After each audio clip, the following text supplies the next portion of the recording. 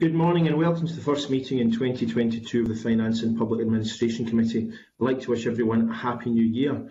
We're meeting remotely today and have a single item on our agenda which involves taking evidence from two panels of witnesses to inform our consideration of the forthcoming independent report on Scotland's fiscal framework. Although the terms of reference and authorship of that report have yet to be agreed by the UK and Scottish governments, we note we'll focus on block grant adjustments. First, we'll hear from Professor David Bell, David Eiser and David Phillips. David Phillips will join us a little later around 10.15am. Our second panel will focus on arrangements for the Welsh fiscal framework approach to block grant adjustments with uh, Dr Ed Poole and Guto Ifan of the University of Cardiff joining us. I now move to our first panel of witnesses and welcome Professor Bell and David Eiser to the meeting. We have around 70 minutes for this discussion and I remind members that broadcasting will operate, operate their microphones Please allow a few moments before speaking to ensure you will be heard. Any members who wish to ask a supplementary question should type R into the chat function, and any witness wishing to respond, please type in an R and I'll bring you in. I now open up the session to members' uh, questions, and I'll begin by asking um, our witnesses, um, and perhaps Professor Bell can go first. Uh, what should the independent review cover and what should be the terms of reference of the independent report? So that's uh, quite a big question to uh, to start with. Um, clear, clearly, the, uh, clearly the um, uh, independent review has to uh, look over how the existing uh, arrangements have worked, uh, how they've gradually been introduced uh, over the period, what has been the experience of the uh, of the new fiscal arrangements, and I guess that comes down to a number of particular issues.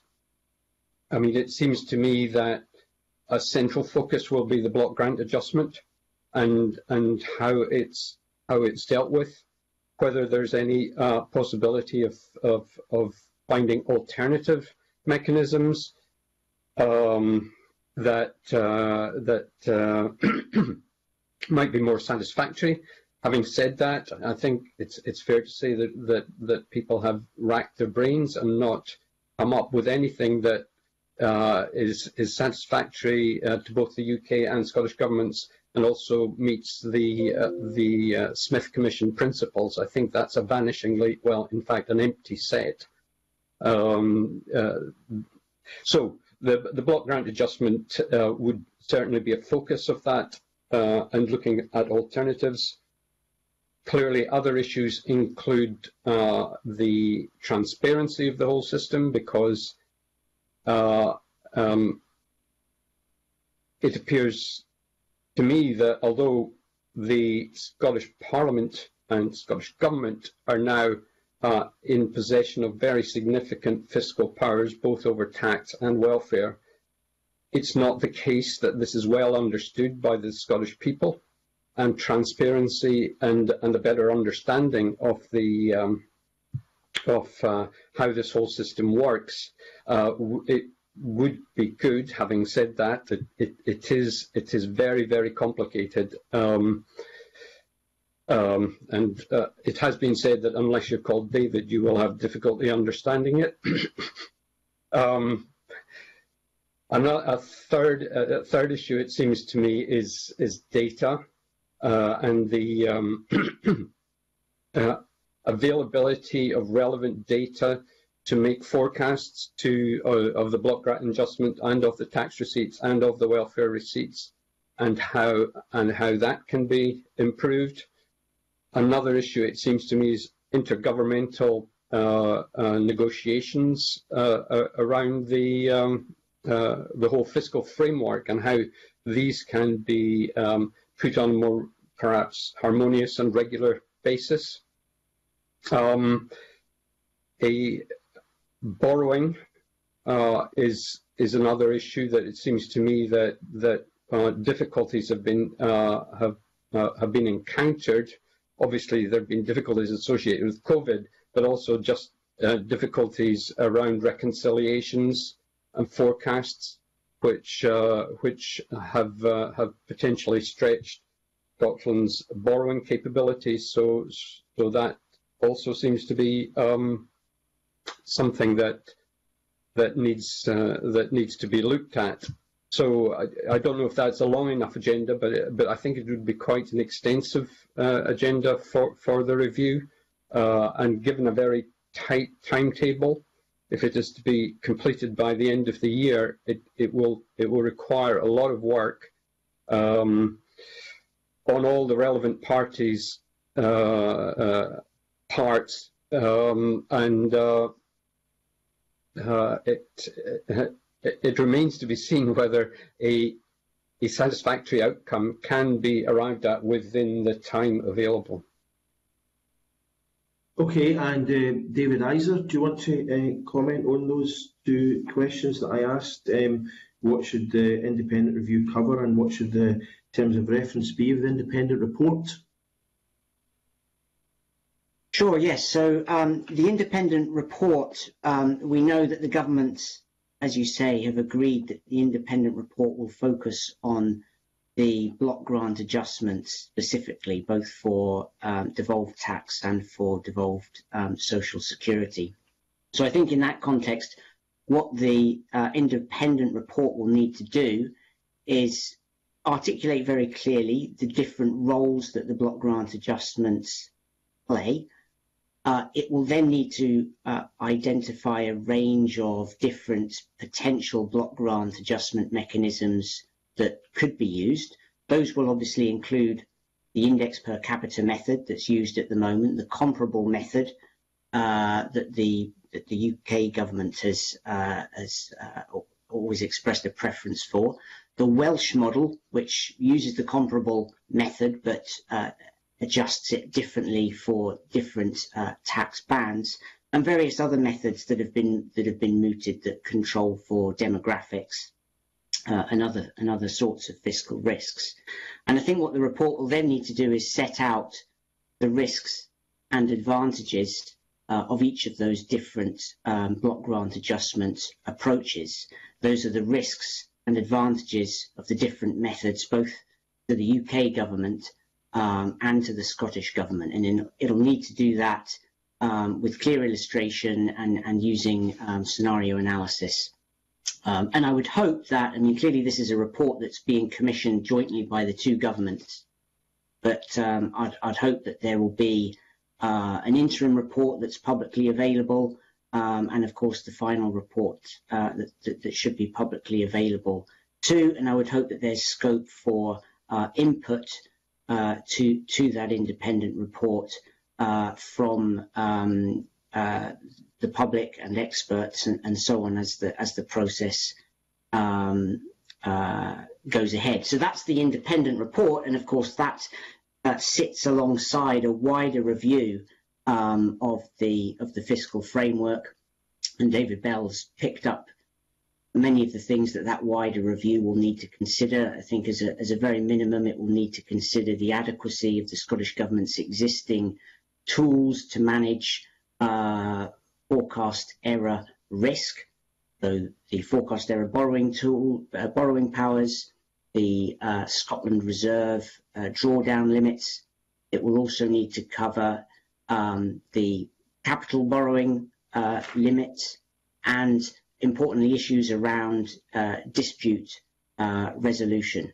Uh, and I think it will also need to consider the extent to which the Scottish Government should have additional budget management tools uh, beyond those that it that it currently has. So the, the, the scope for uh, borrowing powers not just to adjust to to to, to um, uh, to deal with forecast error, but potentially borrowing powers to deal with other sorts of budget uncertainties. So um, I, I, reiterate what uh, David Bell said. There's a there's a lot uh, to be covered in the review as a whole, but um, we know that the independent report will focus just on the block grant adjustment mechanisms, although there's a there's a lot to cover just in that uh, independent report. Yes, uh, there is. Uh, before I, touch on the block adjustment a wee bit. Um, just to follow what you said there, David Eiser, you, you, you, talked about, you used the word adequacy of the fiscal tools. And I'm just wondering, in terms of borrowing, do you think that the, the, the, we do have adequate fiscal tools at this point in terms of borrowing limits? Uh, uh, you know, for example, should the, the limit be raised? Should it be linked to inflation, etc.? Where do you think the limits need to be um, pressed a wee bit and, uh, and uh, increased and flexibility, um, more flexibility for Scotland? Well, the, currently the Scottish Government um, has different sorts of limits for different sorts of borrowing. Um, so if you take the capital borrowing, um, I think that one of the obvious issues there is that that limit uh, is fixed in um, cash terms. There's no obvious reason why that should be um, uh, so. So I think as a very as a, as a, as a minimum, uh, the the review should be considering how that's indexed over time. Should it be indexed to some measure of inflation or the size of the Scottish budget? But that's there's then a question of you know the the extent to which the limit itself, capital borrowing, is is adequate or not.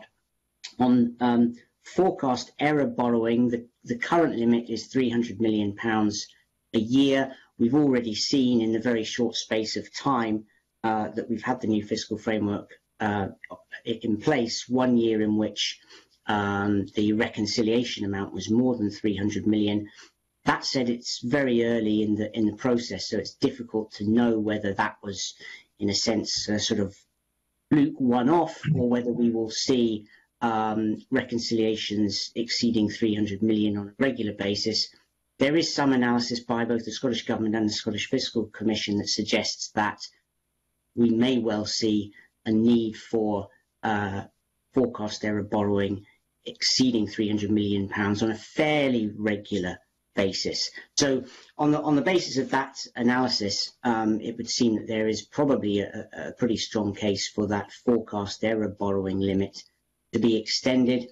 Quite how much it should be extended is, is a sort of tricky question. At the moment, it's temporarily extended to 600 million pounds anyway, because uh, in in 2021 we had the triggering of a Scotland-specific economic shock, which temporarily over the next three years raises that limit to 600 million. So 600 million probably feels adequate at the moment, and there's maybe a good case for saying that that should just remain permanent um, uh, rather than being a temporary limit.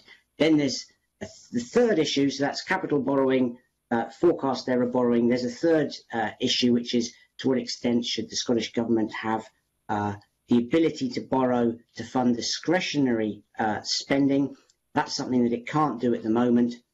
In a recent report that uh, uh, David Phillips and David Bell and myself produced, we argued that there was a good case for the Scottish Government to have some ability to borrow modestly to fund discretionary spending to deal with unforeseen events that arise during the year.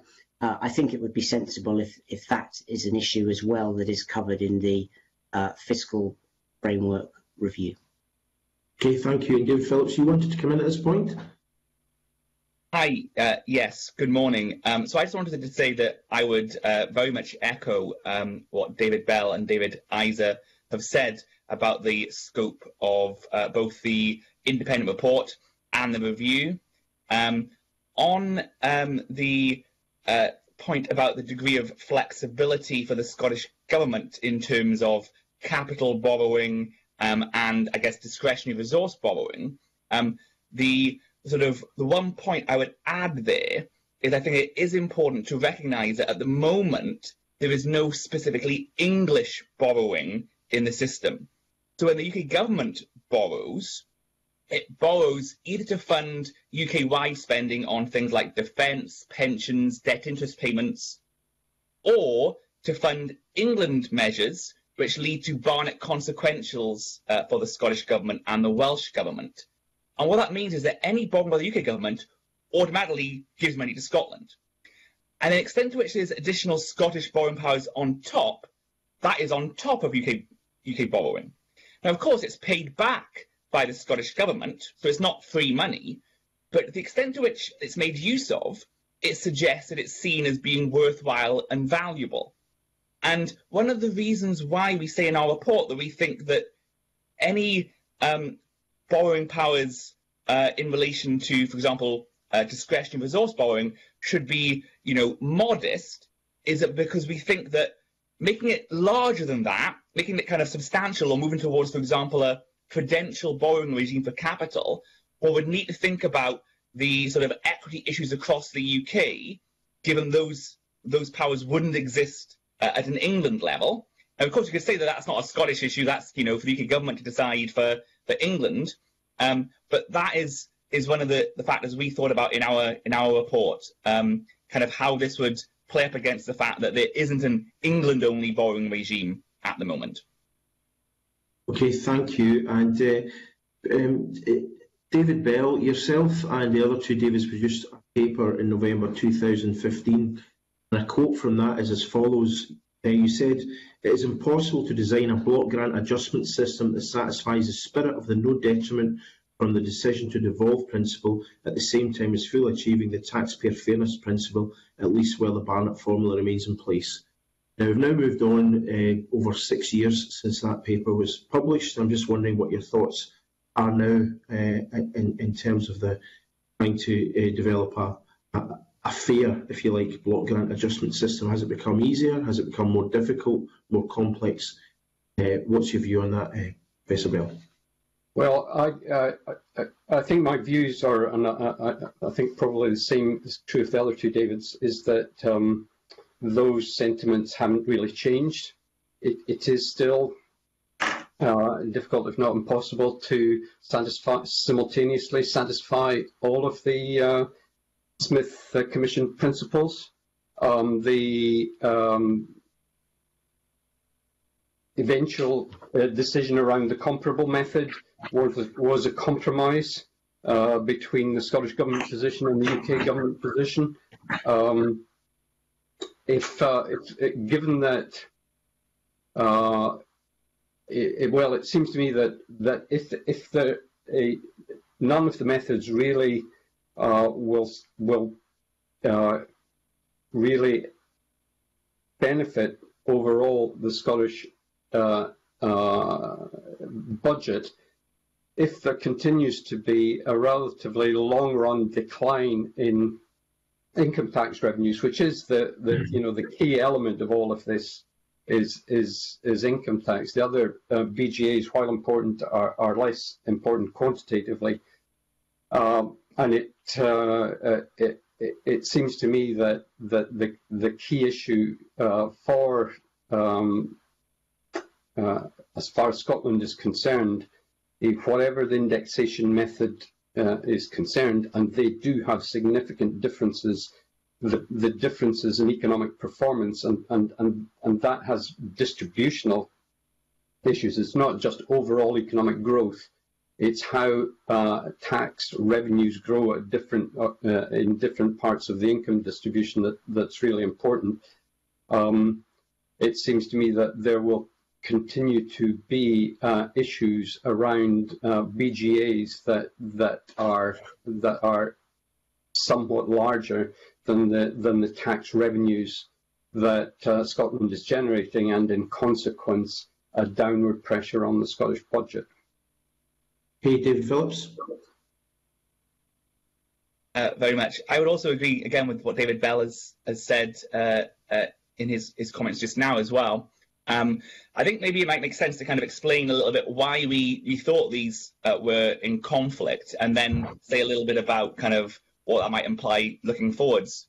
Um, so the no detriment principle was the idea that there should be no um, uh, either cost or benefit Scotland just from simply the act of devolving uh, tax uh, revenues to Scotland.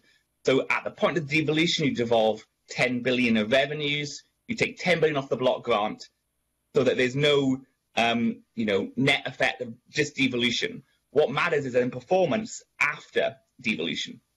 And it was our view, and I think the Scottish Government's view, that a sort of reason, a reasonable benchmark going forwards from that point would be to say that, well, if Scottish revenues per capita, per person, keep pace with those in the rest of the UK, well, there should be no detriment from that either who are getting the same percentage growth rate in revenues per capita, that is that is sort of you know a good benchmark against which to assess. Well, If we do better than that, we gain. If we do worse than that, we lose. But if we keep up, we shouldn't uh, lose out.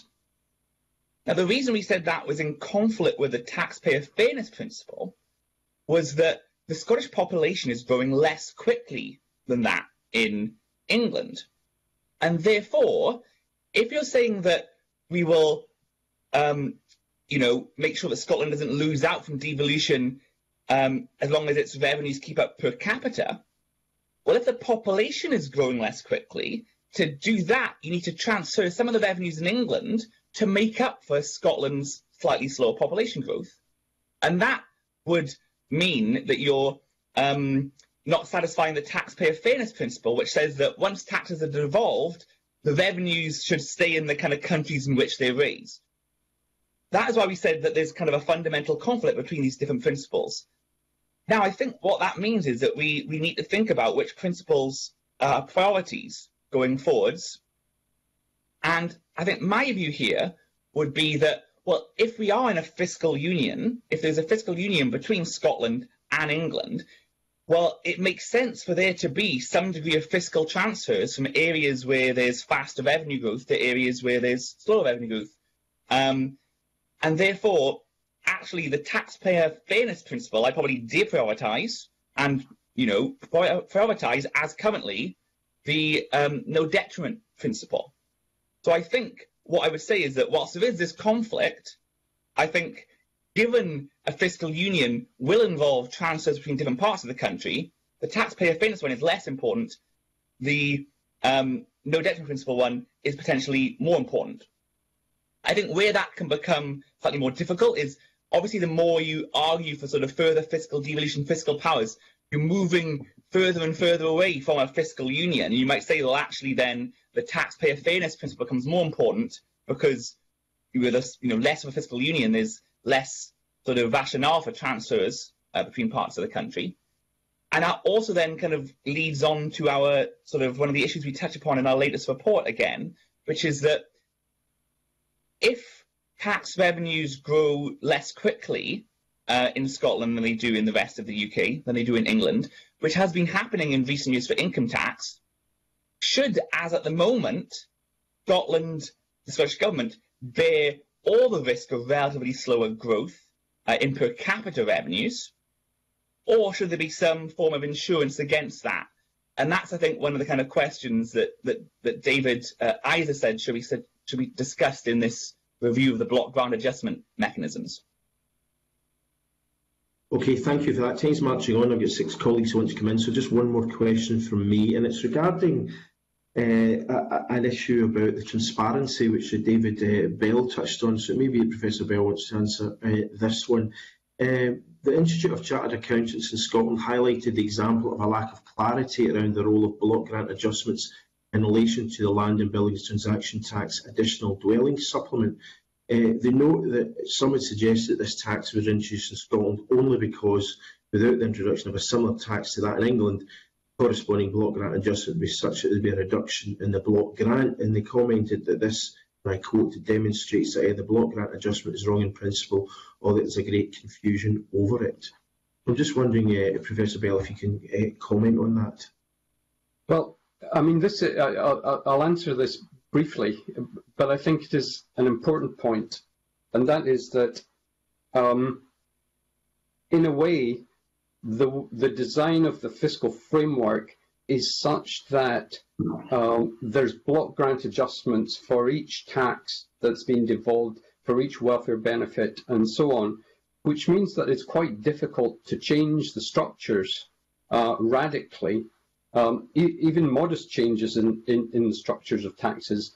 And uh, perhaps I, I, would say there, there's even more scope to consider changes in the way that welfare benefits are structured.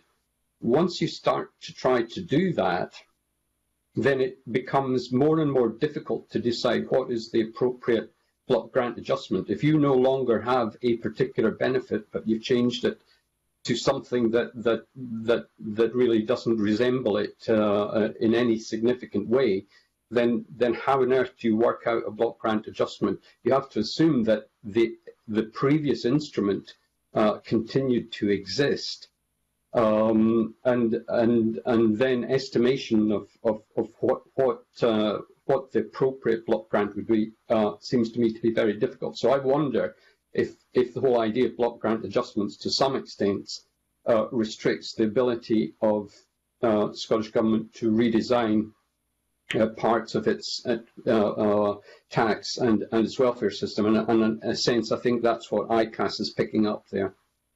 Okay, David Eiser.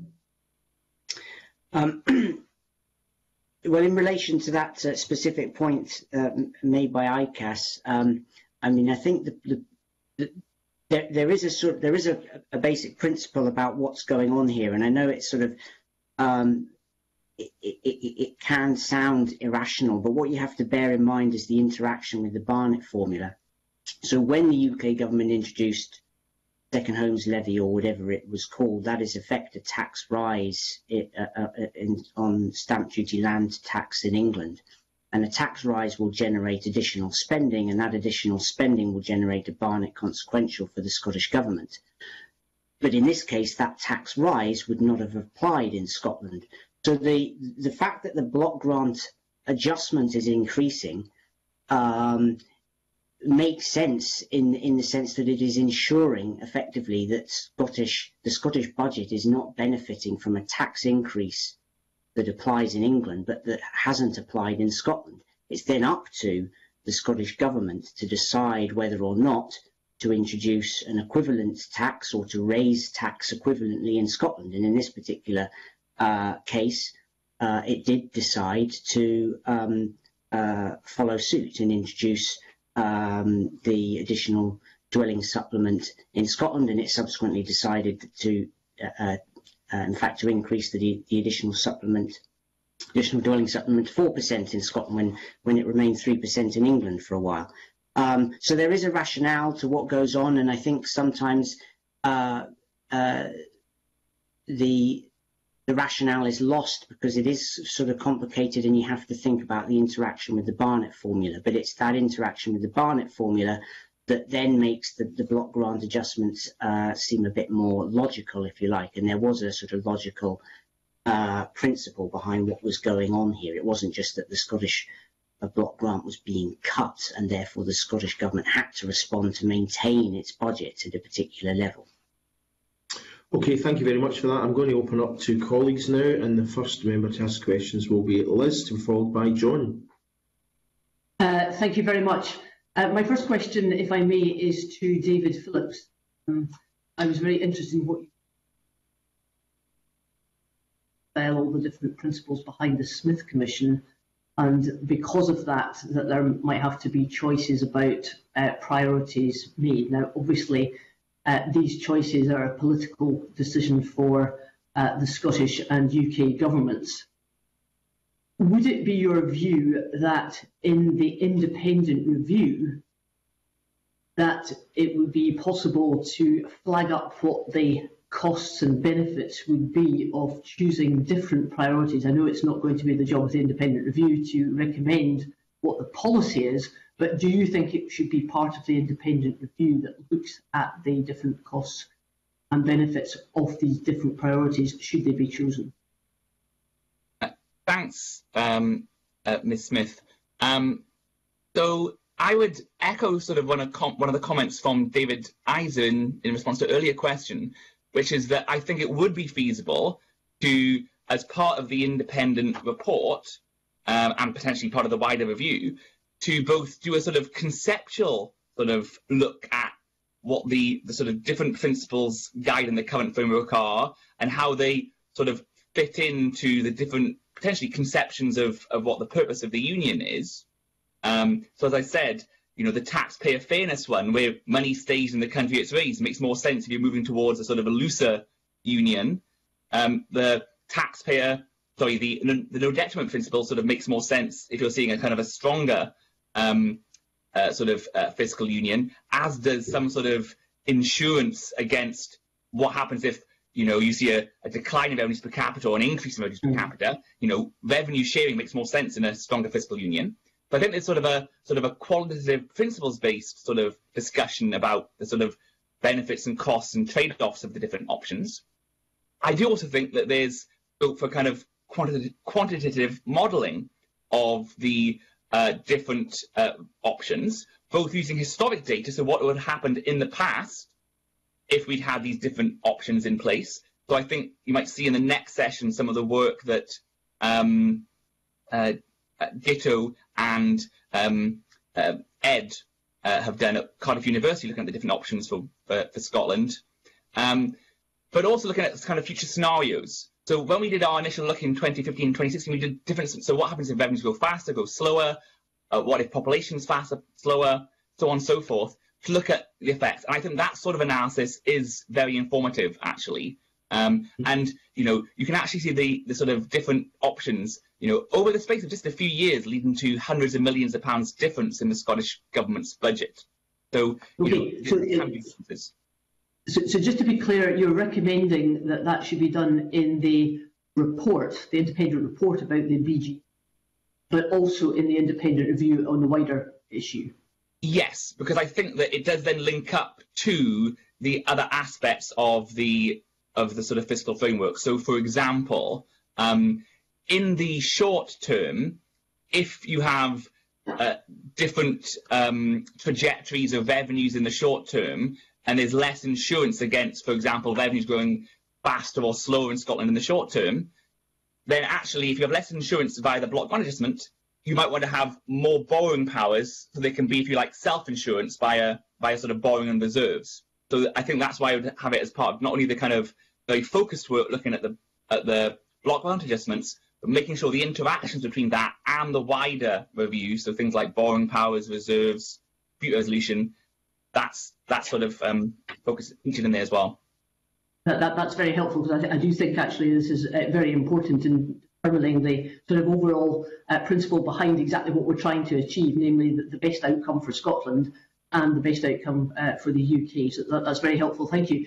M my uh, second question is, uh, I think there's probably uh, growing consensus around the political spectrum that there is a case to examine the forecast errors issue because we've had people in front of this committee fairly recently um, who have had some concerns about our ability to forecast well and the sort of time delays between some of these forecasts and just whether we get it right. I wonder if I could ask, uh, I'm not really uh, worried about who answers this, could I ask about whether there are um, aspects that we need to address that are not just about the timing of different forecasts, particularly Scottish Fiscal Commission against the OBR ones, is there extra data that we uh, should be working on to improve our forecastability?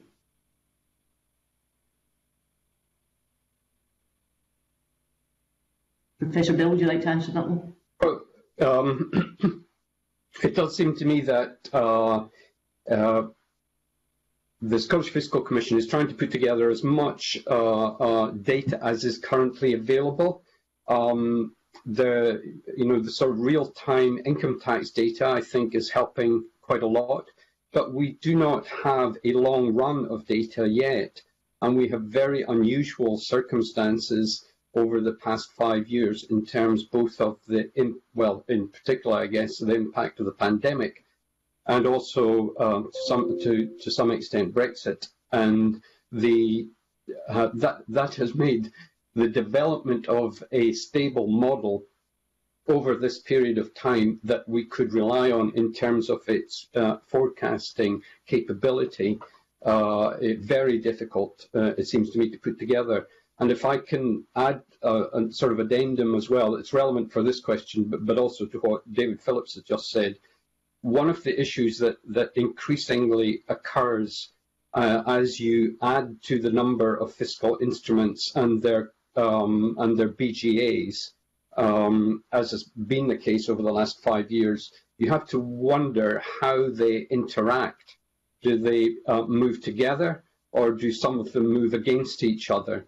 So the overall borrowing requirement that the Scottish Government might need is partly dependent on that because if one tax goes up, the other tax goes down, the need to borrow is much less than if they are both going on the same in the same direction.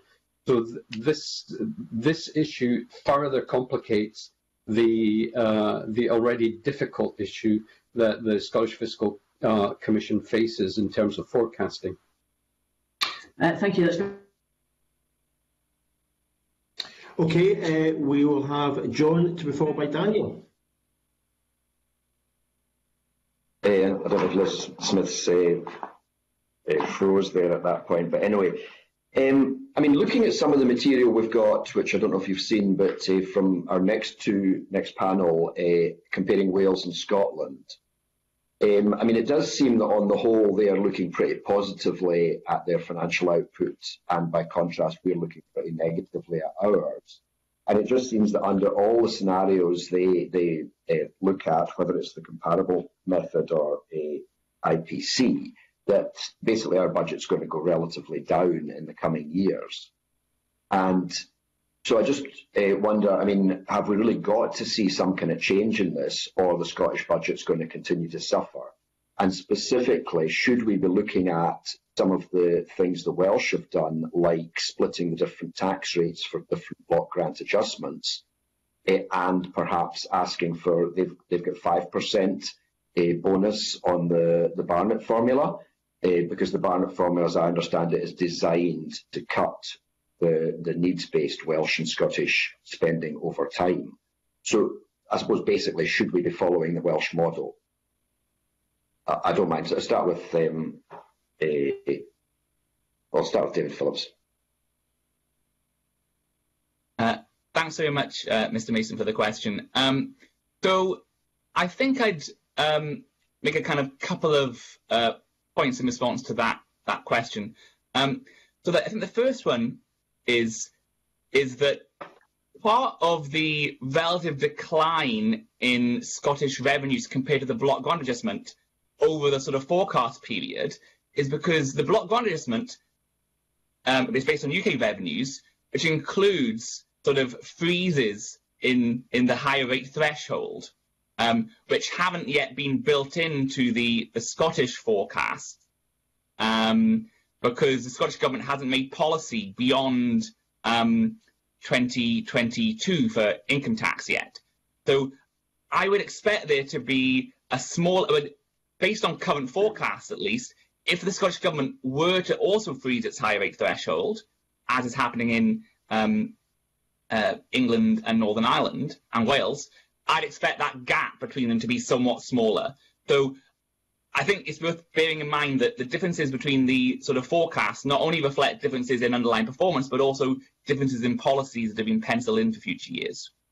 Um, on, I guess, the kind of more substantive questions about, um, you know, what what options should um, Wales go for? Sorry, should Scotland go for in terms of its its fiscal um, framework and in terms of the block grant adjustments?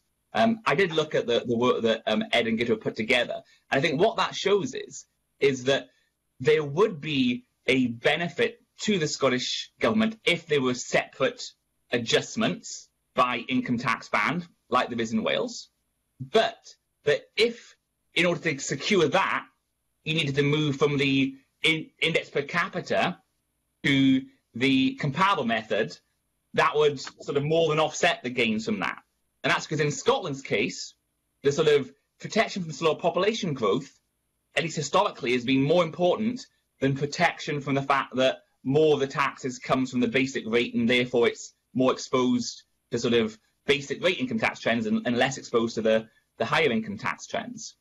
So that if you had to kind of choose between one or the other, you know, index per capita would make more sense than the Welsh model. But of course, if you can kind of combine the two, that might be seen as, you know, the best of both worlds, whether the Treasury would um, uh, you know, conceive that is another matter. I think on the question of um, the uh, Barnett floor that's put in place for Wales, so this kind of 5% uplift on top of the population increments uh, that Wales now gets, I think that was very much in the context of the work of the Holtham Commission, which suggested that of the three uh, devolved nations, Scotland, Wales, and Northern Ireland, Wales was the one that actually, in the sort of early 2010s, potentially was underfunded relative to kind of what a needs assessment would suggest. That doesn't actually hold for Scotland or Northern Ireland on any sort of, you know, formula-based basis. It would probably turn out that Scotland looked like it was relatively overfunded relatively to the rest of the UK, not necessarily absolutely. And therefore, whilst it would benefit Scotland to get a 5% uplift, I think it might be a harder case to make to the Treasury for Scotland than it was for Wales. Okay, thanks. That's helpful. I think we're probably going to be pressed for time, so I'll, I'll, maybe the other two want to come in later, but uh, if I can just move on to something else.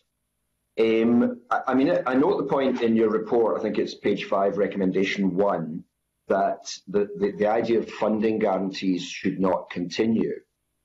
Um, and I understand your, the logic for that, but I'm just wondering how we deal with that because, I mean, if the, the problem seems to me is that Westminster announces expenditure, but we don't know if it's new money or existing money. And if they would even just tell us what the new money, how much of it was new money. So if they're spending five billion on, on London Crossrail and we're going to get 500 million, well, at least if they would tell us that 250 of it is definitely new money, then we could bank on that, even though it's not technically a guarantee. I mean, I'm just wondering if, if there's some way around that issue, uh, because Otherwise, you know, it just takes us ages to find out if we're getting new money. Well, so, uh, Professor, sorry, or whoever. Um, uh, I was going to say Professor sorry. Bell on this one, but maybe, maybe if it's David. Go, David. David Phillips, if you're ready to go. Ah, sorry. I was going to say. So I think there's kind of um, two things I'd say there. First, I completely agree with you. There needs to be better information from Treasury on what is new money and what's not new money. We had a sort of a, a sort of a short report on this back in 2020, um, where you know, some of the kind of plan for growth, the kind of plan for jobs, you know, was was actually just rebadged old money, and it wasn't clear from the statement. So definitely agree with you on that point. Better information on what's new and what's sort of from existing budgets. I think the other point I would say is that our report does suggest that there should be some discretionary borrowing powers for the Scottish Government as well. And one of the reasons for that is that that would allow the Scottish Government to, you know, not only respond to unforeseen events, but also to respond to issues like this. So I, I think that, you know, the reason we kind of had the package as a whole, which was saying, you know, yeah, actually better information, some discretionary borrowing powers, and if there are any late cuts to budgets at the sort of supplementary uh, estimates stage, the ability for the Scottish Government to borrow to kind of carry that forward so it doesn't need to make the cuts straight away, we thought that would give the flexibility uh, that the or the sort of ability to plan that the um, the guarantees does without the potential unfairness of the guarantee being more than than Scotland should get, you know, potentially being unfair to England. So that's what led us to, to that conclusion. Yeah, I get the point about the unfairness. And if I can, just one final point then. I mean, your report seems to be quite positive. I think it's pages 45, 46 about the idea that we should have more flexibility about capital budgets being available to transfer to resource. Uh, at the moment, we are allowed to put resource into capital, but we hadn't been, and especially during the pandemic, that would have been very useful. So, am I, am I right in saying that you, you feel that is that wouldn't really damage the UK in any way, uh, and it would be, give a bit more flexibility to the Scottish Parliament? David Eiser? Yes, I mean, in, in, essence, the answer is yes. Uh, uh, we make the point in the report that um, uh, there's a case for the Scottish Government to, to be able to have greater ability to flex its budget during the year in response to unforeseen events.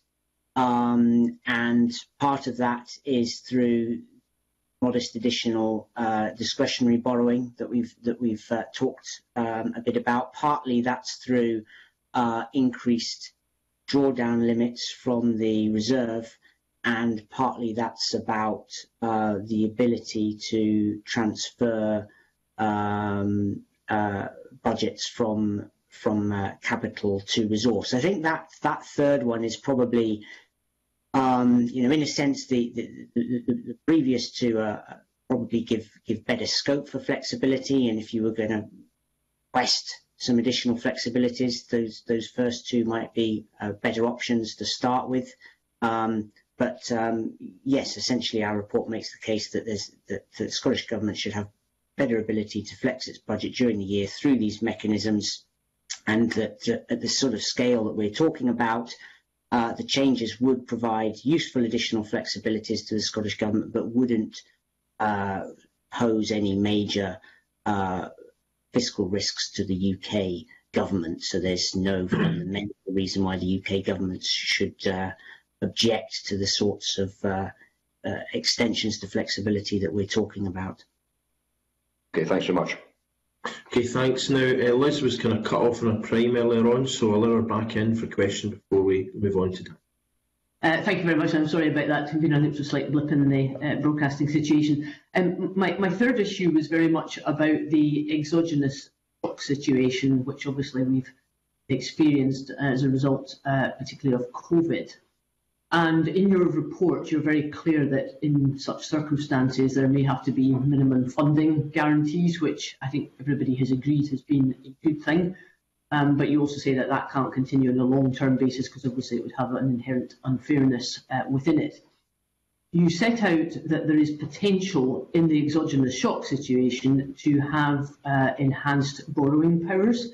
Could I just ask you as to how exactly that would work for the time of that exogenous shock? Would there be a time uh, period for that enhanced borrowing, um, or how, how do you see that working? Um, shall, I, shall I start that? Um, Thank you. So I, I, we've we've discussed this uh, quite a bit, and, and it seems to me that there is um, really uh, a lot of difficulty in identifying what we would call a perhaps an asymmetric shock rather than an exogenous shock. So an asymmetric shock is one that hits Scotland uh, or hits Wales, and the, and in the rest of the UK, the, the economy carries on uh, unperturbed. Um, there's a question about timing. So, for example, you could say that the decline in the North Sea uh, industry is a sort of slow burn rather than a an immediate shock like the pandemic was. And so there's a question about how you recognize the, the, the differences between those. Um, funding guarantees worked well during the pandemic, but that was partly because it was not an asymmetric shock. This is what this is the point that we make. Pretty much COVID affected Wales, Scotland, Northern Ireland, England uh, to pretty much the same extent. And therefore, the Barnett consequentials were were, were with were, were at about the the the right uh, the about the right level. We don't really have uh, uh, a sort of uh, methodology for firstly recognizing the, the, the exogenous shock, which you would have to be able to do before you decided what mm. the, borrow, the, the borrowing regime that you would then bring in to deal with it was. And it seems to me that that is also an issue that that we could ask, or the, the review could be asked to have a look at. Thank you very much. Okay, thank you. Uh, Daniel, to be followed by...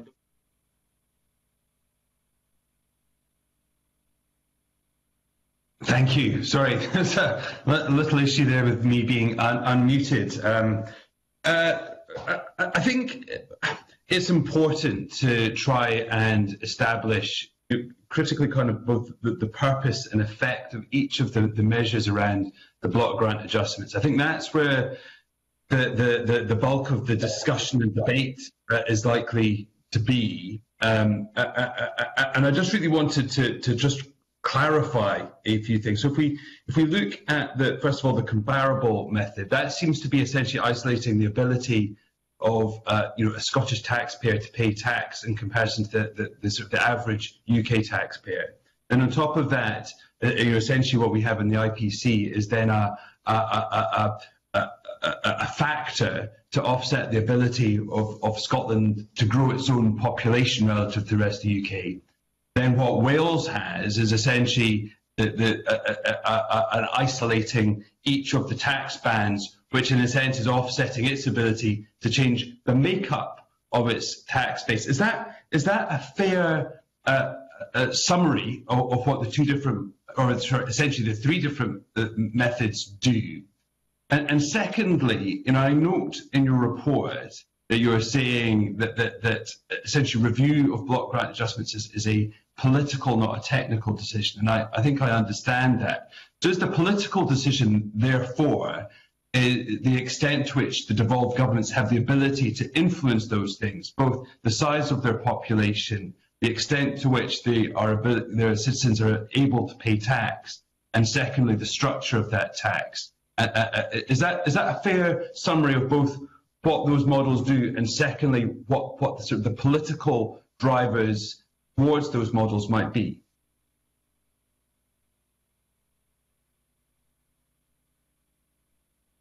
Um, so uh, yes, Daniel, I think that is a, a, a, really quite good summary of, of what those different options uh, do. Um, so you're right, the Compower model protects uh, from starting off with lower revenues per capita because rather than having to get the same pounds per person increase, you need to get the same sort of percentage uh, increase. The IPC method then gives protection on top also for if population growth is slower, or the Welsh method, method gives protection if you'd expect different growth going forwards because of the, the structure of your of your income tax base. Um, I think that's a, a, really good summary of, of the different approaches. In terms of the kind of politics going forwards, I think there's kind of two aspects to it. There is the kind of question about what um, you think is sort of influenceable, influenceable by the uh, devolved government to the extent to which they can impact sort of the performance of the economy, uh, impact um, population growth. I think there also is a question, though, about the degree you think there should be risk sharing and redistribution across the UK, um, which is sort of a separate political issue about kind of the function of the union. And the more one thinks that the union really is sort of about redistribution according to need and about insurance against, you know, shocks that hit different parts of the country, that would push you towards uh, a system which would you know, potentially ensure the devolved governments against more of these different kinds of risks. The extent to which one is sort of moving towards a system of, you know, fuller fiscal autonomy, you know, with more things devolved, you might kind of, you know, think that actually fewer of these um, these should be uh, protected against. So that's why I think we we discussed it being sort of a, a, political issue. I think the other reason we kind of had the politics of, of thinking about the block grant adjustment um, was because that actually the more one kind of starts to put in mechanisms to insure against different types of risks. So, for example, the risk that even, you know, even if you're protecting for population growth and for, you know, the the different sort of starting tax distributions, what if revenues per capita grow less quickly in Scotland just because, say, the economy goes less quickly? Should there be protection against that? Well, when you try to do that, you need to actually do some quite sort of, you know, ad hoc adjustments politics will get involved there. If it seems a zero-sum game, this can become quite politically contentious. So again, we thought that sort of some sort of, you know, potentially culture change around the way the devolved and the central governments interact on fiscal framework issues would be needed to avoid that becoming just a sort of, you know, a constant source of tension between the governments. So that's why we thought, you know, politics was just as important as the technical side of things when thinking about block grant adjustments either of the other Davids ones. Uh, I think I pressed R at the same time as David Phillips, and uh, David David Phillips um, said said um, the, the, things that I would have uh, said. I think. I mean, this is a, this is about it's about principles and it's about politics, and an example of that is um, when you when you're talking about you know should the should the indexation method be uh, IPC or should it be the comparable method? Um, IPC, the, the, the, method that is currently in operation in Scotland, uh, as David Phillips said, it protects the Scottish budget against the risk that the population in Scotland grows more slowly than the population in the rest of the UK.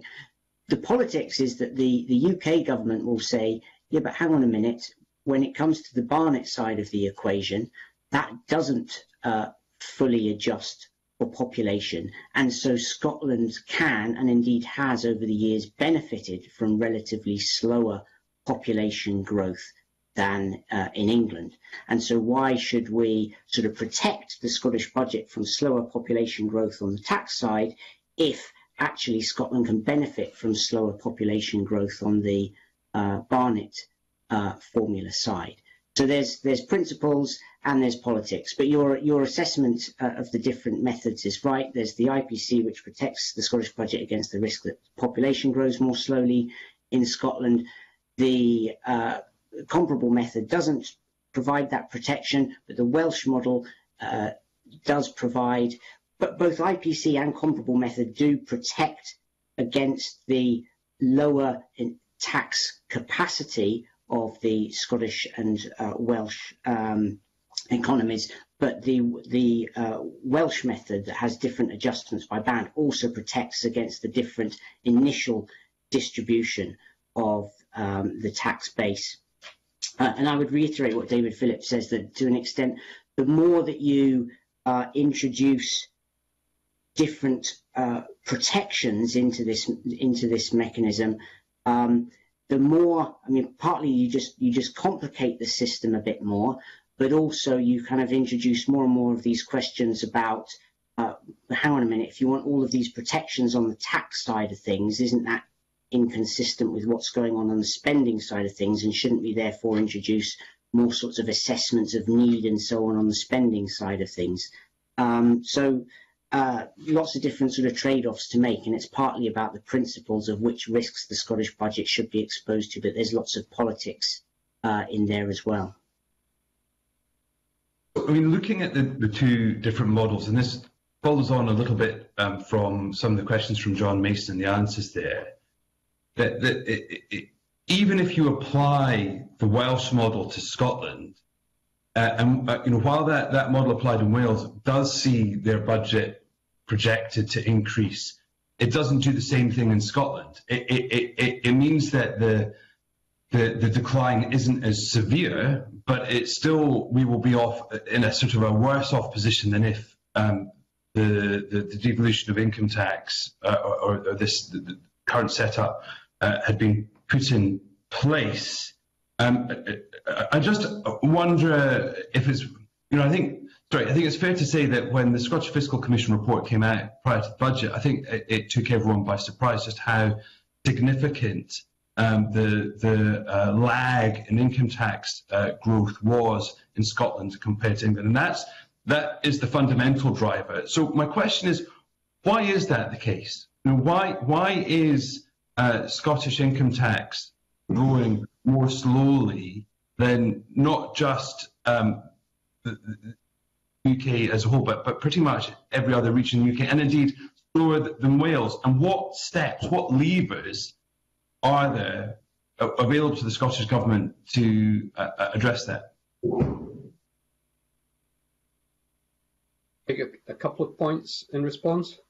Um, a, one of the points is that is that the exogenous, uh, shock that Ms. Smith talked about earlier uh, is in a sense coming uh, through the gradual decline in North Sea oil um, and the fact that um, Scotland that that uh, that kind of industry, along with the financial services, were were amongst uh, the few industries in Scotland that that uh, were producing additional rate taxpayers and high rate taxpayers, and uh, the um, top one percent of the population of taxpayers pays 13% of the total revenues. Um, so the the uh, slow growth in tax revenues is partly distributional, uh, and it's partly to do with gradually, or, or, the, the Scottish Fiscal Commission's view that that population, sorry, that economic growth a post 22-23 is going to be very modest in Scotland, uh, and that also generates relatively smaller um, smaller uh, uh, growth in uh, in tax revenues. I mean, is this not the fundamental point that regardless of what model you choose, that, that if you if you have a devolved system of taxation, um, that, that fundamentally Scotland needs to be growing its income tax uh, uh, uh, faster than the UK average in order to benefit. And, and in a sense, it almost doesn't matter which of these models you use, that that fundamental truth is, is the, the, the overarching one. Um, yes, I think so. That, that, that, or that's critical, although the, the, the indexing method does, as we showed in our 2016 paper, it does make a difference, but in the long term, it's, it, it seems that, that, that economic growth is, is key to, um, to uh, the evolution of, uh, of Scotland's uh, total revenues. Could, could, I just ask one final uh, question, uh, which is really about the long-term sustainability of, of this as a, as a method? If that fundamentally we are basing this off a, comparison of of what is happening in Scotland in terms of tax and welfare decisions compared to the, the, the policy positions in 2016 for the UK as a, as a whole, the more time elapses, the more difficult that gets. And also, if, if the, in essence, it's more feasible because the UK has by and large pursued the same policies, same overall sort of both method and, and, and size of taxation and indeed welfare spend compared to 2016. But if the UK government diverged significantly, or either increasing taxes significantly or decreasing them, increasing welfare or decreasing them, the ability to sort of project what would have happened from that 2016 position becomes more and more difficult, if not impossible. So in five years' time, are we not going to have to have much more fundamental rethink? If it's not five years' time, will it be 10 years' time?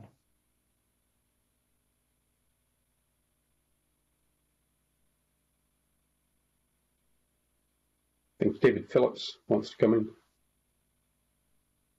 Hi. Um, so am I am I back on screen now? Um, but yes, um, on that on that first point, I think um, because the block grant adjustment is based on actual revenues in um, England, well, England and Northern Ireland at the moment, potentially England in the future if there's tax division from Northern Ireland, because it's based on actual revenues, um, you can still make the block grant adjustment going forwards. And it's actually, as David Eiser was saying, of fundamental importance to the kind of fairness of the system that if, for example, income tax is substantially increased in England, well, because that would mean more spending either on UK-wide functions or via the Barnett formula, you need a bigger block grant adjustment to offset the, the money that Scotland gets via the Barnett formula. It's, it's fundamentally important that you still link the block grant adjustment to what happens to revenues in England. I think that that, that, that system can continue to work in future. I think the kind of sort of the question then comes down to though is that over the space of 5, 10, 15, 20 years, if we were to see a sort of an ongoing trend of relatively slower growth in revenues in Scotland, or actually on the other hand, relatively faster growth in revenues in Scotland, should there be some updating of the block grant adjustments to account for that so there's some risk sharing across the UK? Um, that's one of the kind of questions we look at in, in, in our report. Um, and um, as I said, I think it, it, comes it comes down to politics and, and sort of principles around what one thinks the role of the union is. If one thinks it is a sort of a, a major risk sharing union and redistribution from rich to poor areas, you probably would argue that in the you know longer term there should be such reassessments of, of the block adjustment to sort of redistribute revenues from faster growing to slower growing areas if you, you think that it should be a loose union or, or no union, that becomes a, a, harder position to, to argue for. Um, I said, I think the kind of real issue, and we talk about this a bit in the report, is that it's quite technically difficult to do this, and therefore there's lots of scope for sort of arguments about, you know, what elasticities to assume, what would have happened, you know, and I think that that's why there needs to be probably a role for independent institutions in that aspect of of um, of the system as well. So countries like Australia have, you know, the Australia uh, Commonwealth Grants Commission precisely to sort of have sort of an independent voice in what looks like a zero-sum game.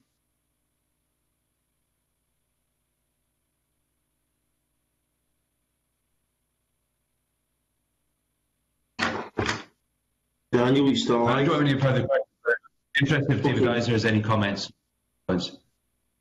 Well, well, I think that that's exactly uh, David Phillips' response was exactly uh, the right one. I mean, indexing the block grant adjustments to growth in our UK revenues um, does serve a number of important purposes. It protects the Scottish budget from UK-wide um, shocks or declines in revenues. We, we, we're going to see that in 2020. We have seen that in 2020 falls in Scottish revenues because of COVID, offset by the fact that we've got falls in um, equivalent falls in our UK revenues. Indexing the block grant adjustments to our UK revenues also ensures that you get this sort of taxpayer fairness um, thing going on. So um, Scottish taxpayers not benefiting from increases in tax in our UK and vice versa. Um, but you're right that over time, you know, if Scottish uh, revenues fall because of a long run decline in what's happening to the offshore sector, for example, um, uh, then it doesn't feel particularly fair that as a result of tax devolution and a result of these trends that really the, neither the Scottish Government nor any other government can do a great deal about, the fact that that has disadvantaged the Scottish budget significantly over time wouldn't feel particularly uh, a particularly reasonable outcome of devolution, and there would be a case for, as David Phillips said, looking at resetting the clock periodically. Um, but I don't think that in that in itself implies that the, the, the, block grant adjustments and the basic principles with which the block grant adjustments are calculated is is fundamentally wrong because they do serve a number of important purposes. Okay, thanks, Daniel. Uh, Douglas, to be followed by Michelle. Yeah, thanks, thanks, Kavita. I'm just going to go back and, and ask about uh, risks again. Um, so, you know, reading the report, it seems that the the risks, what you know, the risk um, that Scotland has and the risk that Wales has is, is completely different. So, I'm just trying to understand that down to the dis- differing risk appetites between the two governments, and I, I guess tying that back, and is that a, is that a political decision that's been made by both of those governments? Maybe that's to David Eiser, first of all. Um, uh, yes, I think. I mean, touched uh, on this a bit um, already. I mean, I think um, I, I, I, think David Phillips made the point earlier that um, the um, the sort of demographic risk and the distribution of um, income taxpayers risk, if you like, are slightly different in, in Wales and in Scotland. Um, Wales population is projected to grow uh, somewhat more slowly than uh, the English population, but that difference is not as marked as it is for Scotland.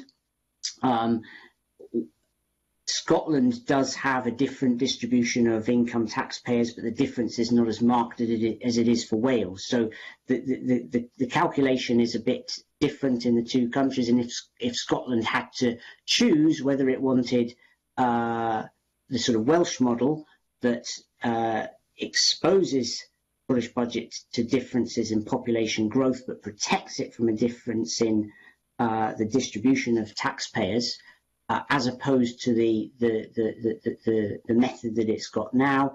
That would be an interesting calculation. I, I think it, it might uh, might rather stick with what it has rather than the Welsh model. But you, you know you, that's where the, the importance of uh, looking at projections and doing some scenario modelling um, is, is, important in informing these sorts of decisions. But, but would I be right in thinking that the model that we've got just now was probably selected because the Scottish Government had more appetite for risk than maybe the Welsh Government did when they were negotiating uh, their block grant, block grant adjustments? I don't know if it was more appetite for risk, but just a different uh, sort of uh, calculus about the, the risks that it faced. Um, and of course, what the, you know, in a sense, what the what the uh, Welsh government was was was prepared to do was to accept the comparable method um, as part of a negotiation that saw it also um, secure this adjustment to the Barnett formula, whereby there's a sort of floor that ensures that um, Wales allocation on the Barnett formula can't drop below um, a, a, a, particular level. That's not really at the moment a, a sort of uh, issue that the Scottish Government is likely to be looking at because its allocation on on the on, under the Barnett formula is clearly uh, well above what a needs assessment would uh, would suggest. Okay, and, and following on from Daniel's uh, question about you know to keep almost to keep level our economy, we'd have to grow the same amount as the rest of the, the, the rest of the UK. Is that the same for, for Wales then? Because when we look at the, the graphs, you know, we see that um, the net effect of their tax devolution is, is positive, but ours is negative. So are they actually growing their economy um, at the same rate as the rest of the UK or higher or and higher compared to, to Scotland? I mean, this is an important point. These different mechanisms for indexing the block grant adjustment, they, they're important because they, they influence which risks the devolved budget is exposed to. But fundamentally, if um, the tax base grows much less quickly in Scotland or in Wales than it does in the rest of the UK, um, then there isn't a block grant adjustment mechanism that's going to uh, compensate for that. And in a way, it would be it would be odd if it did, because um, you have to think about the way that the, the, the interaction with the Barnett formula works, and uh, we've talked about, and the um, uh, the implications of that. It would be sort of somewhat strange if you had a devolved tax system whereby the devolved tax base grew less slowly and tax revenues grew less slowly, and yet the the budget um, was not exposed to, to, to the impact of that.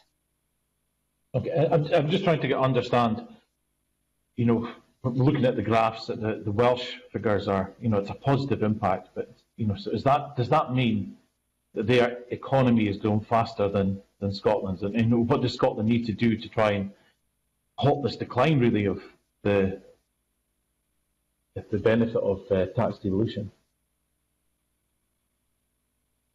Maybe one of the other Davids want to answer.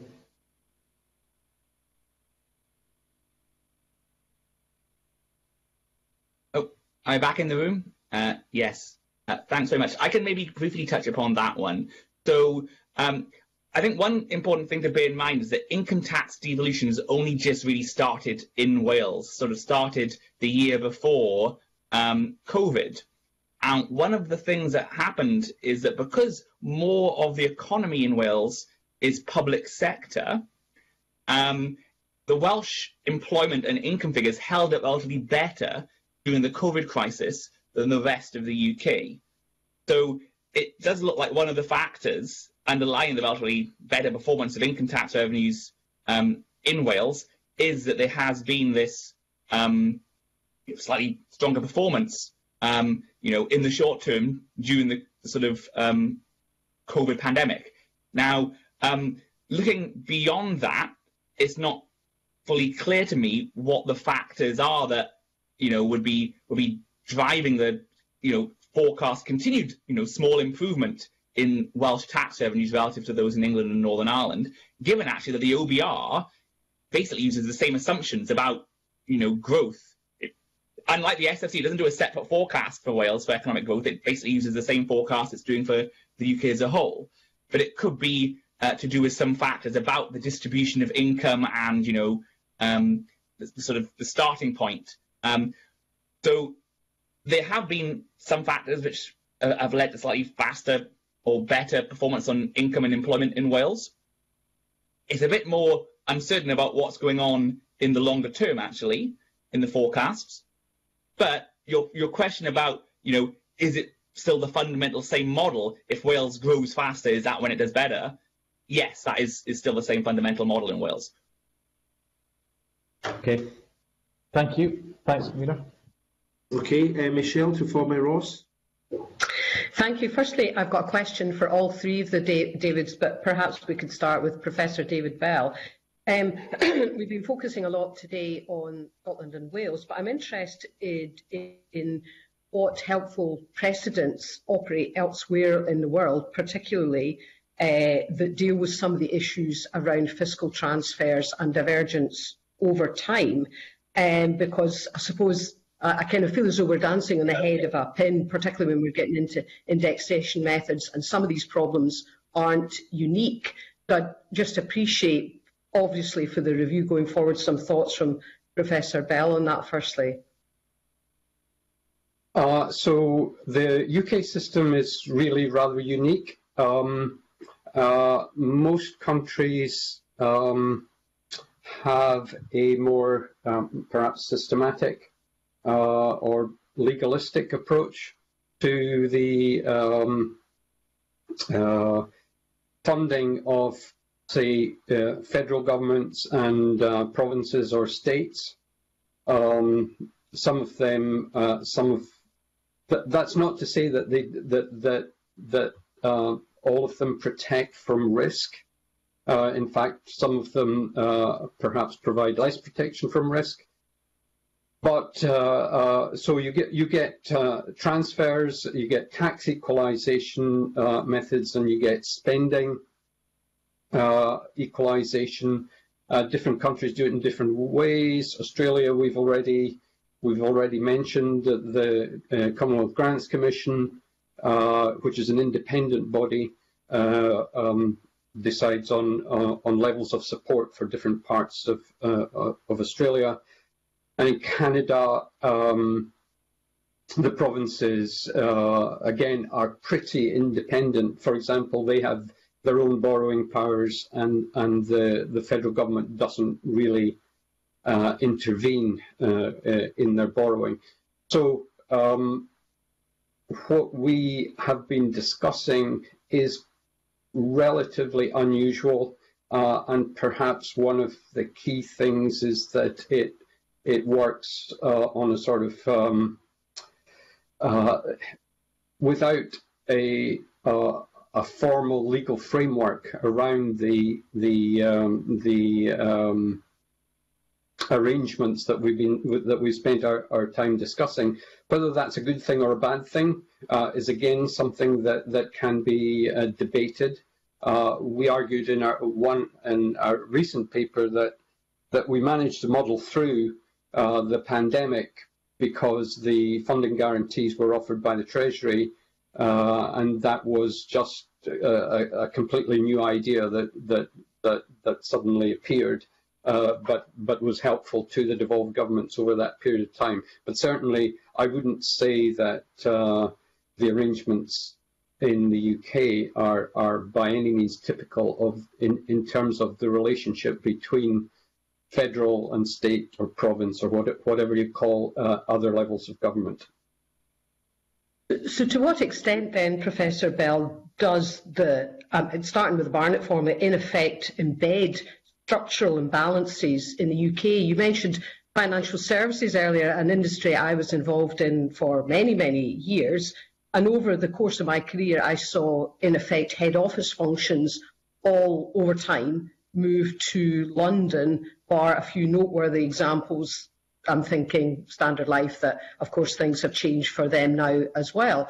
Um, but I'd appreciate, I mean, it, does it not really embed those structural imbalances? So the Barnett formula is is is not some not a formula that's based on need. Most countries, in in terms of equalisation uh, mechanisms, will look at relative levels of deprivation, relative levels of unemployment, and and so on. And that is not the way that the the Barnett uh, the Barnett formula works.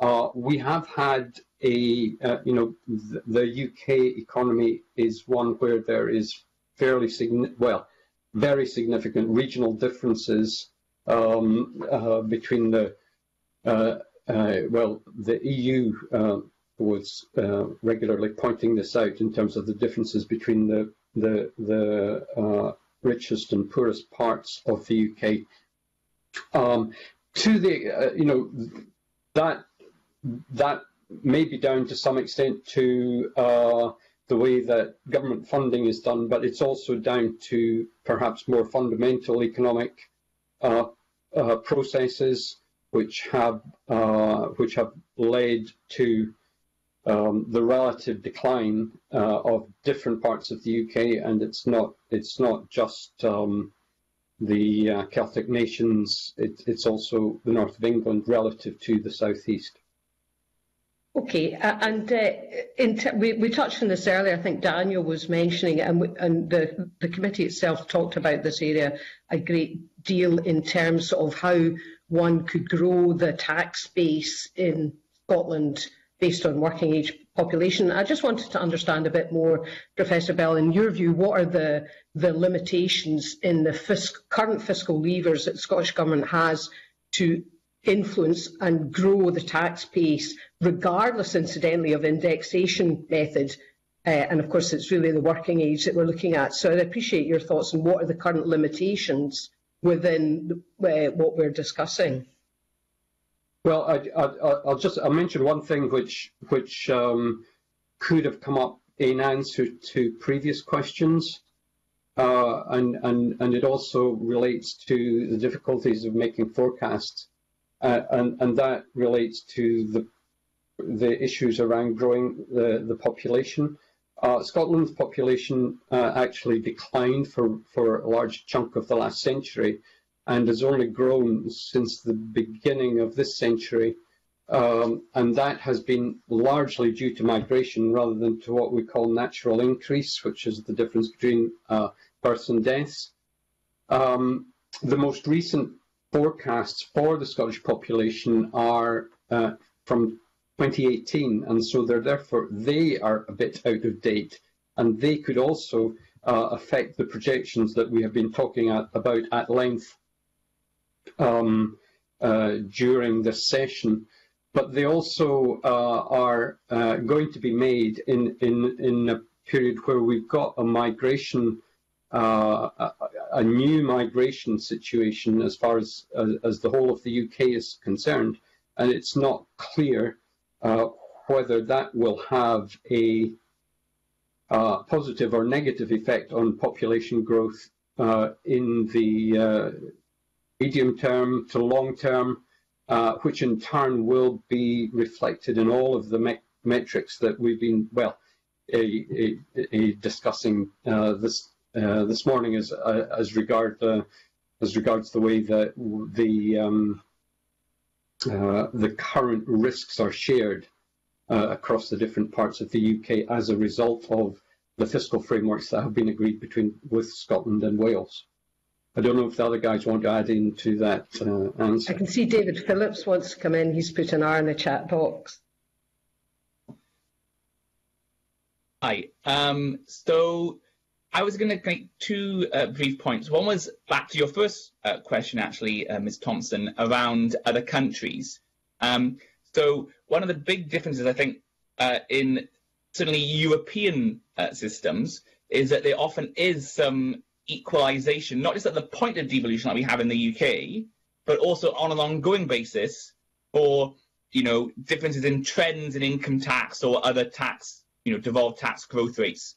So, for example, in Germany, any lander or state that gets, you know, less than 99.5% of the average tax revenue has over three quarters of the shortfall corrected.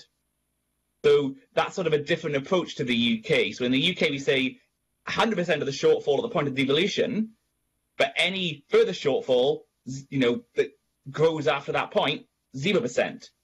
Other countries tend to kind of treat them more symmetrically. So Germany says anything below 99.5%, you'll get three quarters compensated for.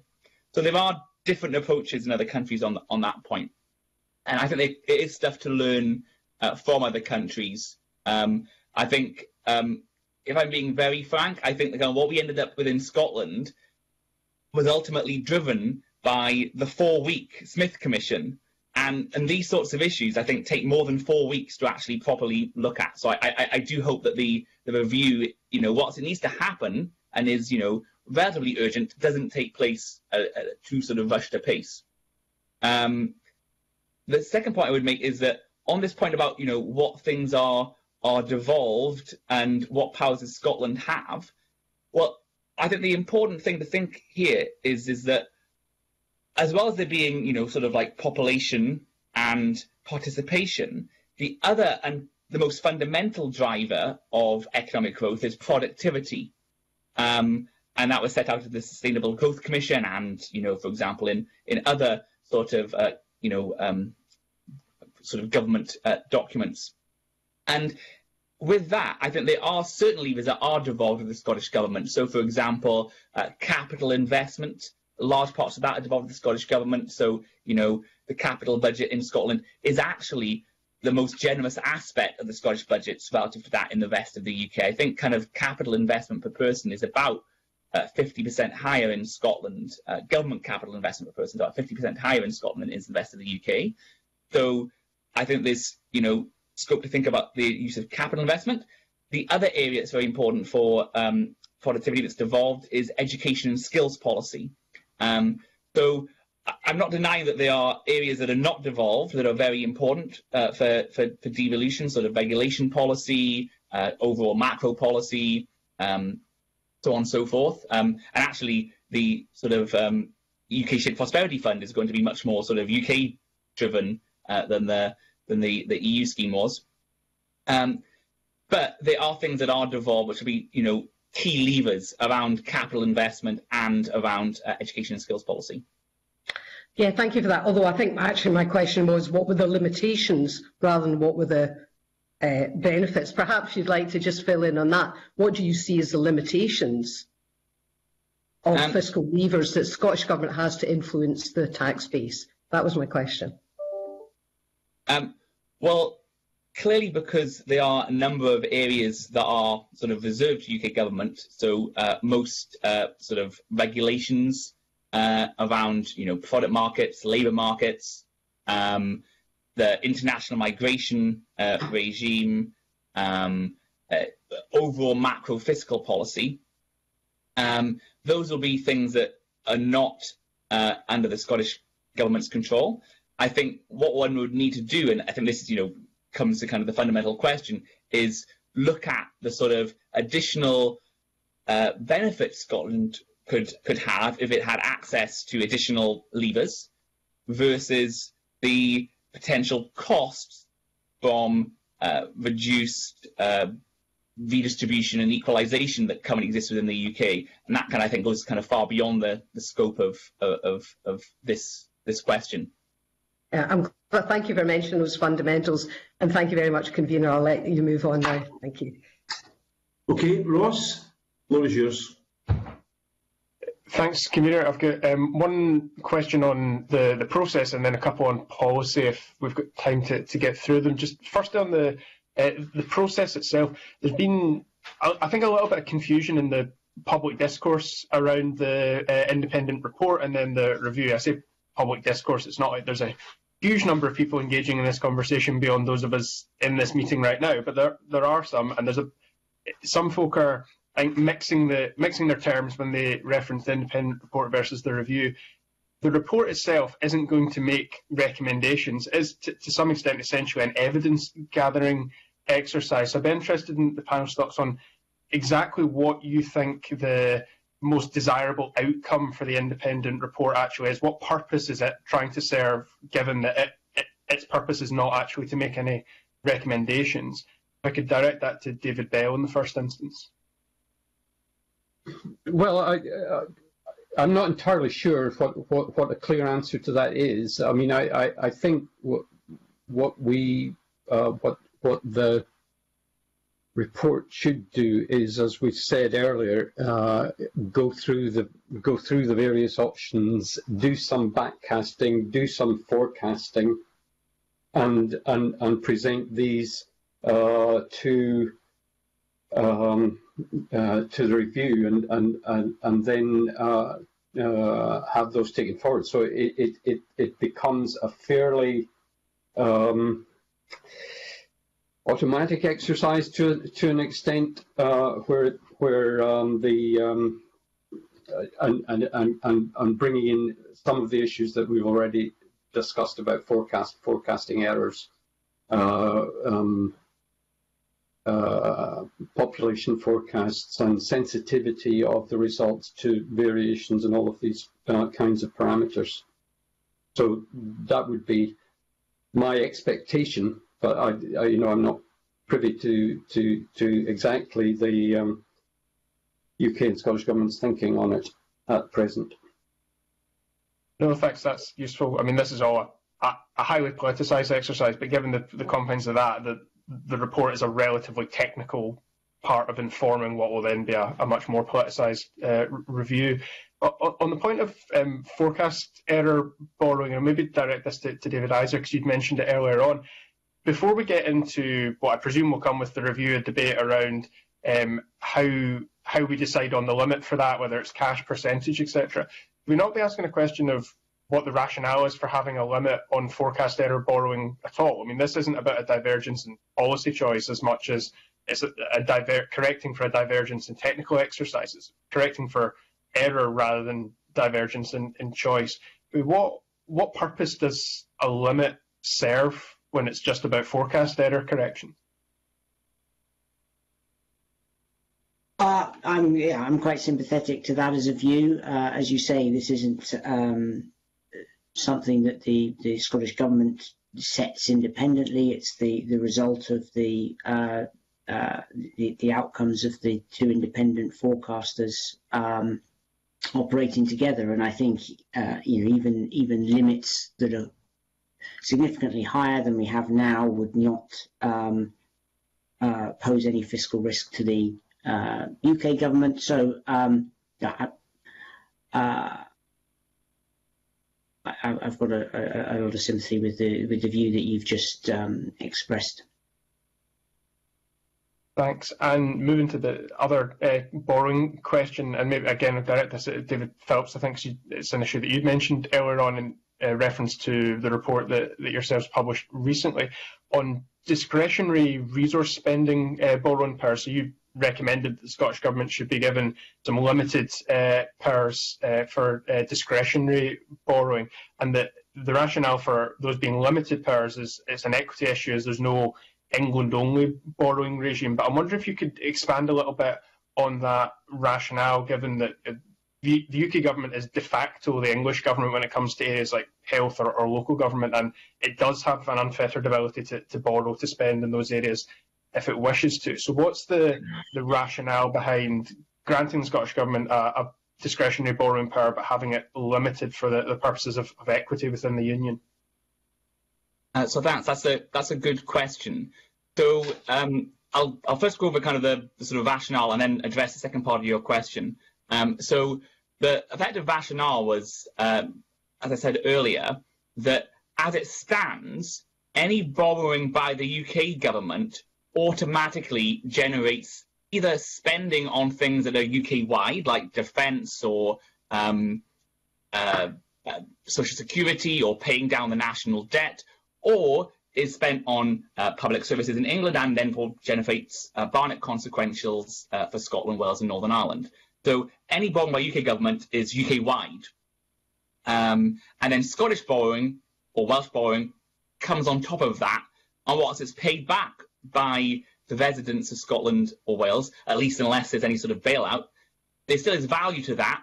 Otherwise, people wouldn't want the borrowing powers. Um, so that is what kind of you know, led to our conclusion that you know one needs to think about um, you know the fairness of this uh, to uh, England. Um, the second point I think you're making there is is that whilst yes that's true there is no England only borrowing powers if it if, if, if you want to borrow more for England, well, because it's UK government makes that decision, you it can it can go ahead not it, it can go ahead with it. And I think therefore, you know, the that there's an argument that well, whilst there's an unfairness if you had, you know, whilst there's a sort of, if you like, sort of financial unfairness to England if you have significant Scottish and Welsh borrowing on top of UK borrowing, there's a sort of a power dynamic unfairness in the current system where um, you can have um, borrowing, you know, for, for England at the drop of a hat if the UK government decides that's what's needed. If the Scottish government decides we need more borrowing for Scotland, it hasn't got that. I think there is that sort of, you know, power issue involved. I'm not sure the extent to which that can be avoided, um, you know, given that, you know, even if you had a separate English government with um, uh, its own borrowing powers, England is 84% or 83% of the union. It's going to have a, a large political political say in the union. So I think that power issue is one that is is sort of potentially inherent in a union which has one very large area. And of course, you could then say, well, actually, within England, you've got regions within England which can have different preferences. But I think the kind of fundamental way to kind of think about this issue is one that actually we have, you know, we need to kind of move towards a system potentially where the UK government is is is sort of making decisions on behalf of the UK as a whole, um, and that it takes into account the needs of, you know, each different area of the UK. And that's why we do say that, you know, in our report, when it looks at kind of what happens if you have an asymmetric shock that hits whether it's one of the devolved nations harder than the rest of the UK, or potentially one of the English regions, there needs to be ways which you bypass the normal system and say, well, look, we're going to we're to kind of bypass that system and give, you know, additional direct funding or additional borrowing powers to that particular region. Um, in more normal times, my own view at least is that I don't think it's unreasonable in a unitary um, a unitary state for overall fiscal policy to be determined by the central government. We're just a slightly, you know, potentially unusual unitary state where if you think about on a nation by nation basis, one nation is, you know, more than eight tenths of the overall size of the state. Thanks very much. Yeah, I think we're a, a deeply as asymmetric unitary state. I'll, uh, I'll leave it there, convener. Thanks. Okay, thank you very much, Ross, and thank you to our three witnesses. I had hoped to ask uh, a question about behavioural responses. Well, I know it's close to his heart, but time is sadly against us, and we're well over time at the moment, so I'll I'll call uh, a halt there. Um, so hopefully um, I'll uh, see all, your, all the witnesses again before too long. I'm sure there's a lot more we have to discuss on this particular issue. So once again, thanks to the three Davids, and I now suspend the meeting until 11.45.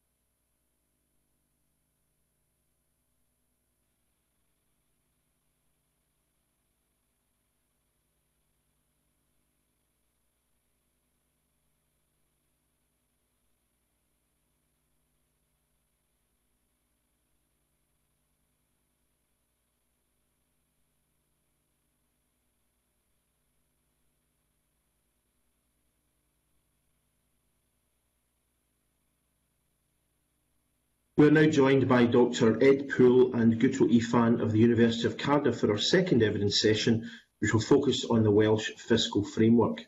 I welcome them both to our meeting. Members have received a briefing paper from our witnesses and we'll go straight to questions from the committee.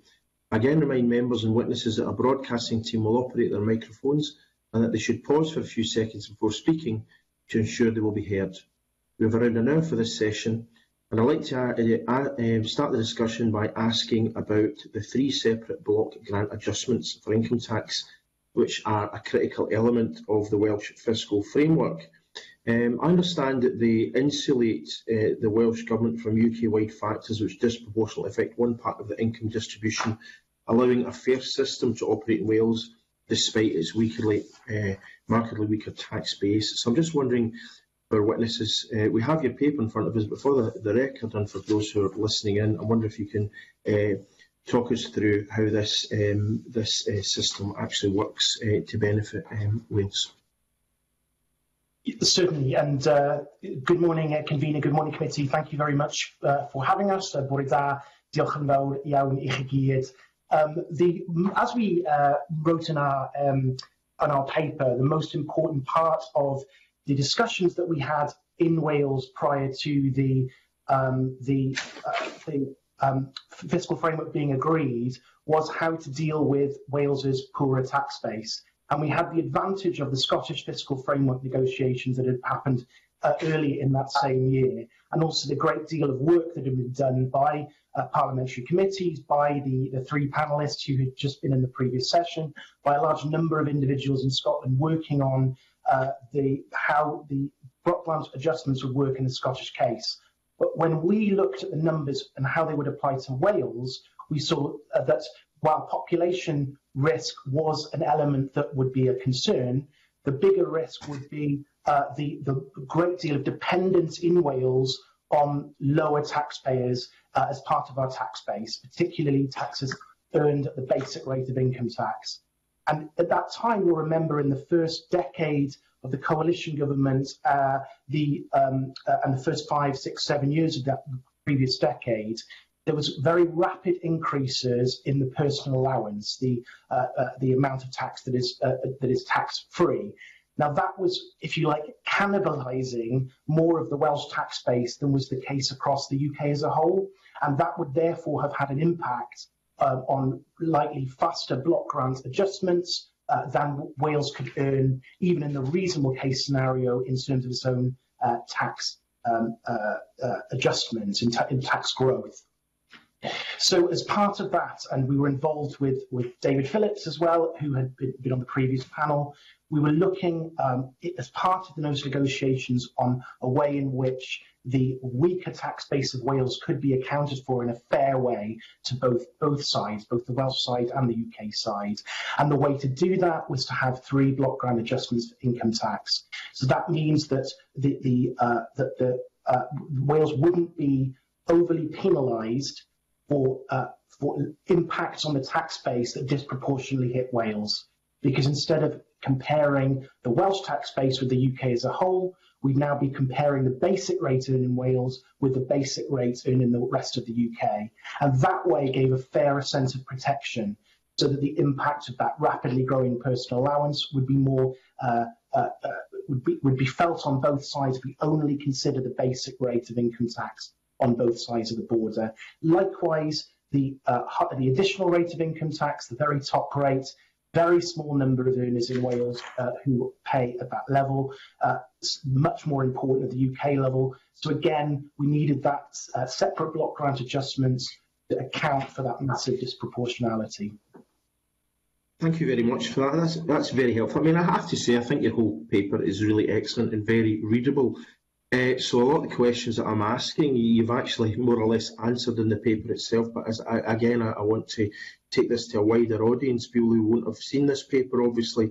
And I think what's very compelling is uh, the, the, figures you've put out, in, in, not only in a table, but also in paragraphs 311 and 312. And what you said at the bottom of paragraph 311 is that the overall impact of tax devolution on the Welsh budget is forecast to be a surplus of £252 million pounds a year by 2026-27, whereas in Scotland the negative projected effect of tax devolution is expected to reach £355 million pounds a year. And you go on to say that if the, the kind of um, the separate um, rates uh, uh, uh, block grant adjustments were implemented in Scotland, then uh, although there would still be a reduction in Scotland, uh, um, there would still be a deficit. It would be 271 million, which is, you know, which is still high, but it's still it's 84 million pounds less than is currently uh, projected. So, a couple of things. Firstly, um, these figures are they based solely on the, the type of block grant adjustment, or is this based on economic growth um, impacting on on those figures? Um, or and um, are you advocating that Scotland should go down the road of having, uh, if possible, or uh, you know, um, lobbying for um, block grant adjustment powers for separate tax rates? Yeah, I can I can briefly answer that and then bring my colleague Guto into the conversation, who's been working very yes. much on these forecasts as well. Um, the, the, the, key point is this is all forecasts, of course, and that's really important because we're living through very extraordinary times in terms of the fiscal arrangements. Uh, taxes, income taxes, as the last panel said, are very new in Wales. They are less than uh, April 2019 uh, was when the Welsh rate of income tax came in. So we're dealing with a very short amount of data. It was also relatively unclear in the uh, Office of Budget Responsibilities devolved tax report. Of course, in the Welsh case, the OBR do the forecasting for taxes and the BGA uh, adjustment forecast, the UK uh, forecast. So we have the same uh, organisation doing the, the forecast on both sides. However, it's not particularly clear what's driving the future forecast that Wales will do better on income tax. So uh, whether that's you know growth in the Welsh economy relative to England's or, or what have you, is a, a relatively a little uh, indication. What we do know is that the personal allowance freeze uh, of the UK government at the moment will relatively help the Welsh tax base. As I mentioned, we're very dependent on, on incomes at the lower end of the scale. So although it doesn't help taxpayers, for the tax base perspective, uh, personal allowance freezes will, will relatively help the tax base. Um, and this is where I think, and of course, as the previous panel mentioned, there's some elements of protection uh, because of Wales's uh, uh, uh, um, public sector, the, the, large number of public sector employment in Wales as a percentage of the tax base. That has been relatively shielded, relatively being a, a, the operative word during the pandemic. So there's, as we at the moment, there seems to be uh, an indication that that Wales will be doing better on, on, on income tax in the next few years. What we do know is that uh, our replacement for the stamp duty is performing above estimates. That's a healthy growth in that prices are recovering more quickly. Um, I don't know if Guto wants to, to come in on, on, on any of the forecasting uh, points on that. Yeah, sure. Um, so uh, yeah, just to reiterate, it, it is based on on forecasts by, by the OBR. Um, and as I'd said, it's, it's not entirely clear what's driving the apparent uh, better um, forecast for Wales compared to the England and Northern Ireland linked to the block grant adjustment. Um, of course, it's early days in Wales compared to Scotland. It's only been we've only had one outturn data in the first year of devolution, 2019-20, as opposed to three years in, in Scotland. Um, and of course, it also reflects tax policy changes by the Scottish Government, and I think that's important to, to mention as well and the different assumptions being made by the Scottish Fiscal Commission against the OBR. And I think um, I think the OBR are um, set to publish more analysis on their forecasts um, and their forecasts of the Welsh share of the, the income tax revenues in, in future years. I think they'll be publishing it soon, um, which I think should shed more light on, on what the assumptions that they're making about the, the, the relative growth in, in Wales. Um, I guess on the on the second um, question of, of, whether Scotland should be advocating for this, I, I guess there's um, four separate block grant adjustments. Um, I think what we show in in, in, in our um, projections of, of, the different models based on, on where, where we've on the data that's of the outturn data and on forecasts. Um, the it's uh, it, is, as you said, it's still projected to be, have a negative effect, even if you used, if you controlled for population, accounted for relative population growth, and you introduced um, separate block grant adjustments. It's a slightly improvement, but it's still a downward trend, and I think that's probably reflect, reflective of, of, of, Scottish specific factors. Um, uh, yeah, mainly perhaps the, the, what's happening in the northeast of Scotland and the oil and gas sector.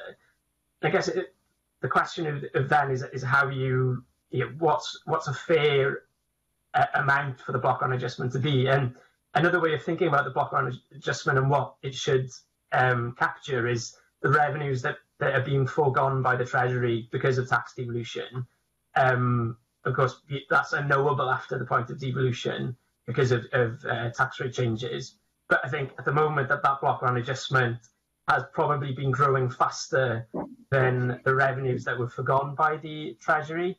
Um, so I think this is having a separate block grant adjustment might be a way of, bringing you closer to um, the, the, revenues that, that, have actually been forgone by the Treasury uh, over recent years. that makes sense.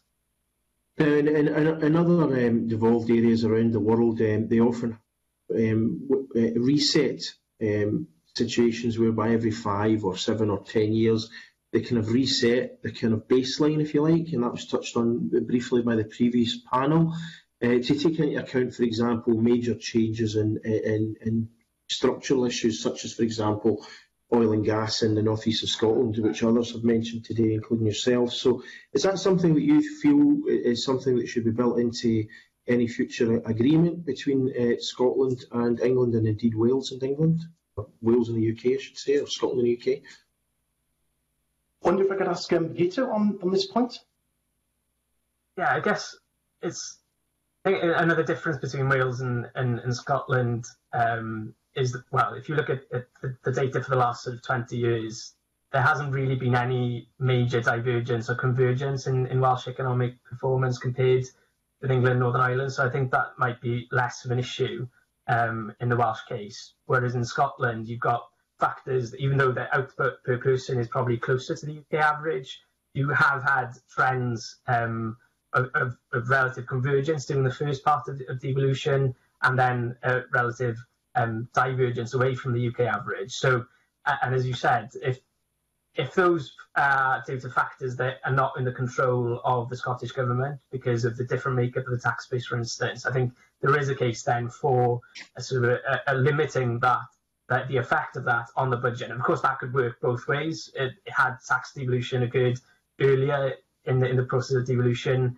then the Scottish budget might have benefited, and then a, a sort of a, a, reset would have taken money away from Scotland. But it certainly, if you if you're looking at exposing the, the Scottish budget to risks outside of uh, of the well of the Scottish government's control, I think that could be uh, an option of, of, of, a reset after after a period of time and, and limiting the divergence in the Scottish budget. However, that's I think as as the previous panel alluded to, is very difficult to know what um, what that reset should be and and, and the extent of of, uh, of changes should be uh, after the fact. Yeah, I mean, I think a reset has to be based on fairness to both sides. I mean, it can't just be a situation whereby Scotland, or indeed if there was one in Wales, always uh, benefited. You know, obviously, you know, it would have to be on, on very specific criteria, and I think that's something that perhaps should certainly be looked at. Um, what impact do you think the, the, the different, difference in uh, the powers that Wales has relative to Scotland has had in terms of the impact of the block grant adjustments because Wales obviously is much more limited powers and you talked about for example in property uh, you know prices have probably gone up more than was anticipated and that's helped in terms of some of your your, your land uh, transaction tax or, or, stamp duty land tax I should say. So um, you know what, what kind of impact would that be and do you think that there's a the, the Scottish experience has encouraged or discouraged uh, Wales to perhaps seek more fiscal powers I think in general that that that we have, uh, the Wales has been in Scotland slipstream on a lot of the fiscal developments.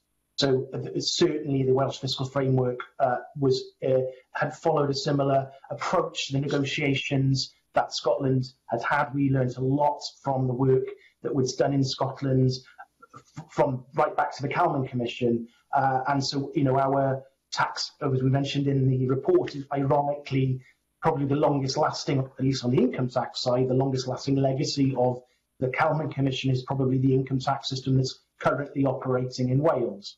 So we've learned a great deal um, from the Scottish experience. I think that's where the uh, when we looked at the numbers on how the uh, whether it was IPC or comparable method, whichever of the models that work for the BGAs in Scotland, um, that when we looked at their implementation in Wales, uh, we were concerned about the impact at the bottom end um, of the uh, of the uh, uh, of, uh, of, earned incomes, and that's why there's there was a, a quite a divergent um, uh, outcome of the Welsh fiscal framework, even though it was obviously inspired uh, by the Scottish experience. And so I think there's been that was the an element in which I mean we often criticise the way that which the UK government conducts its negotiations on a bilateral basis rather than multilaterally involving all of the governments of the UK. But on this uh, occasion, I think having the opportunity to have Wales-specific uh, elements in the framework was quite important in in the outcome that you see so far projected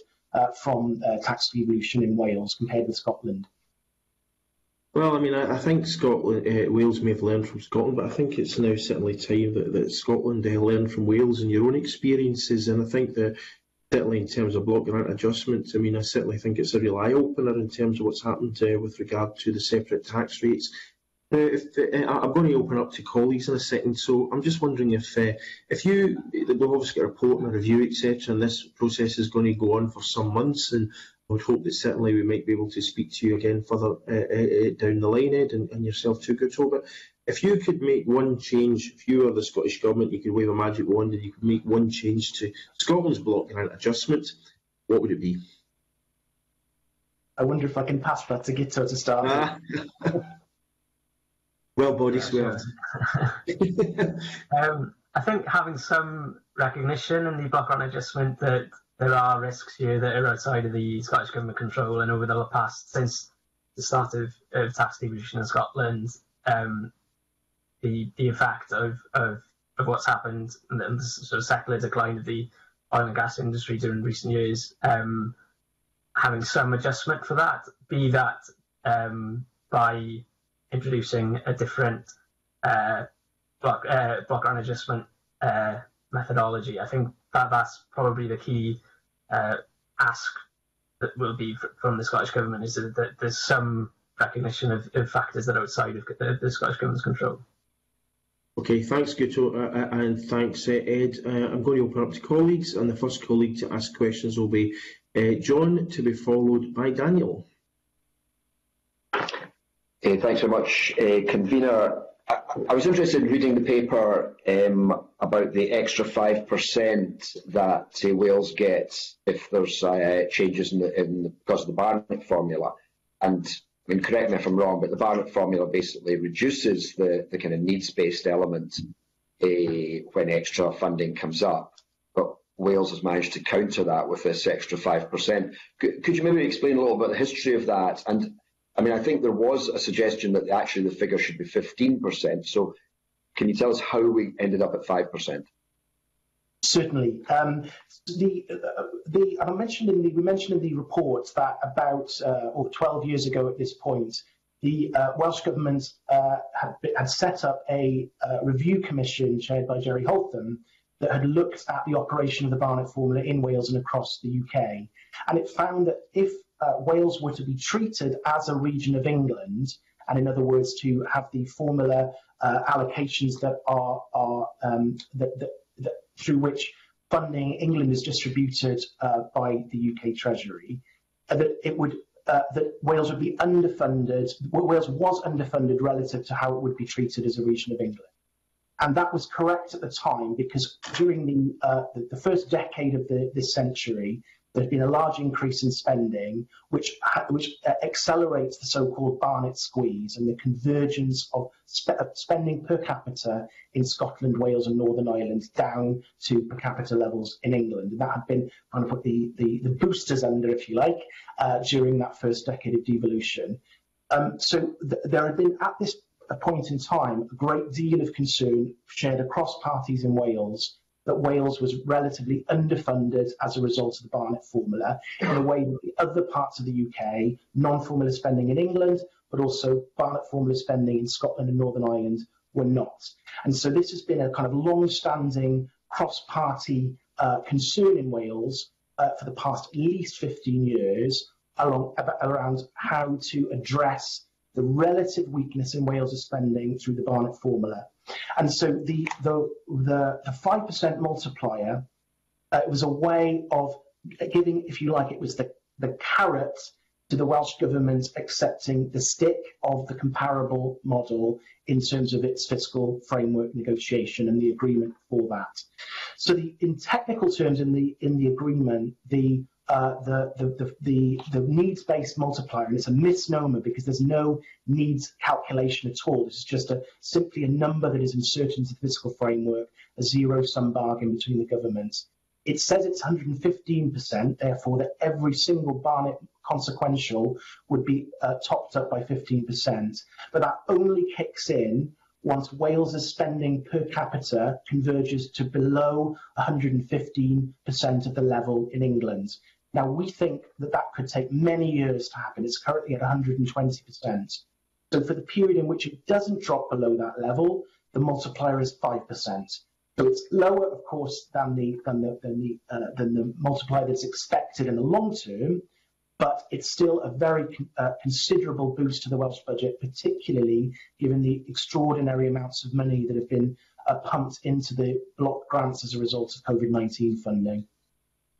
Okay, that's very helpful. Thanks.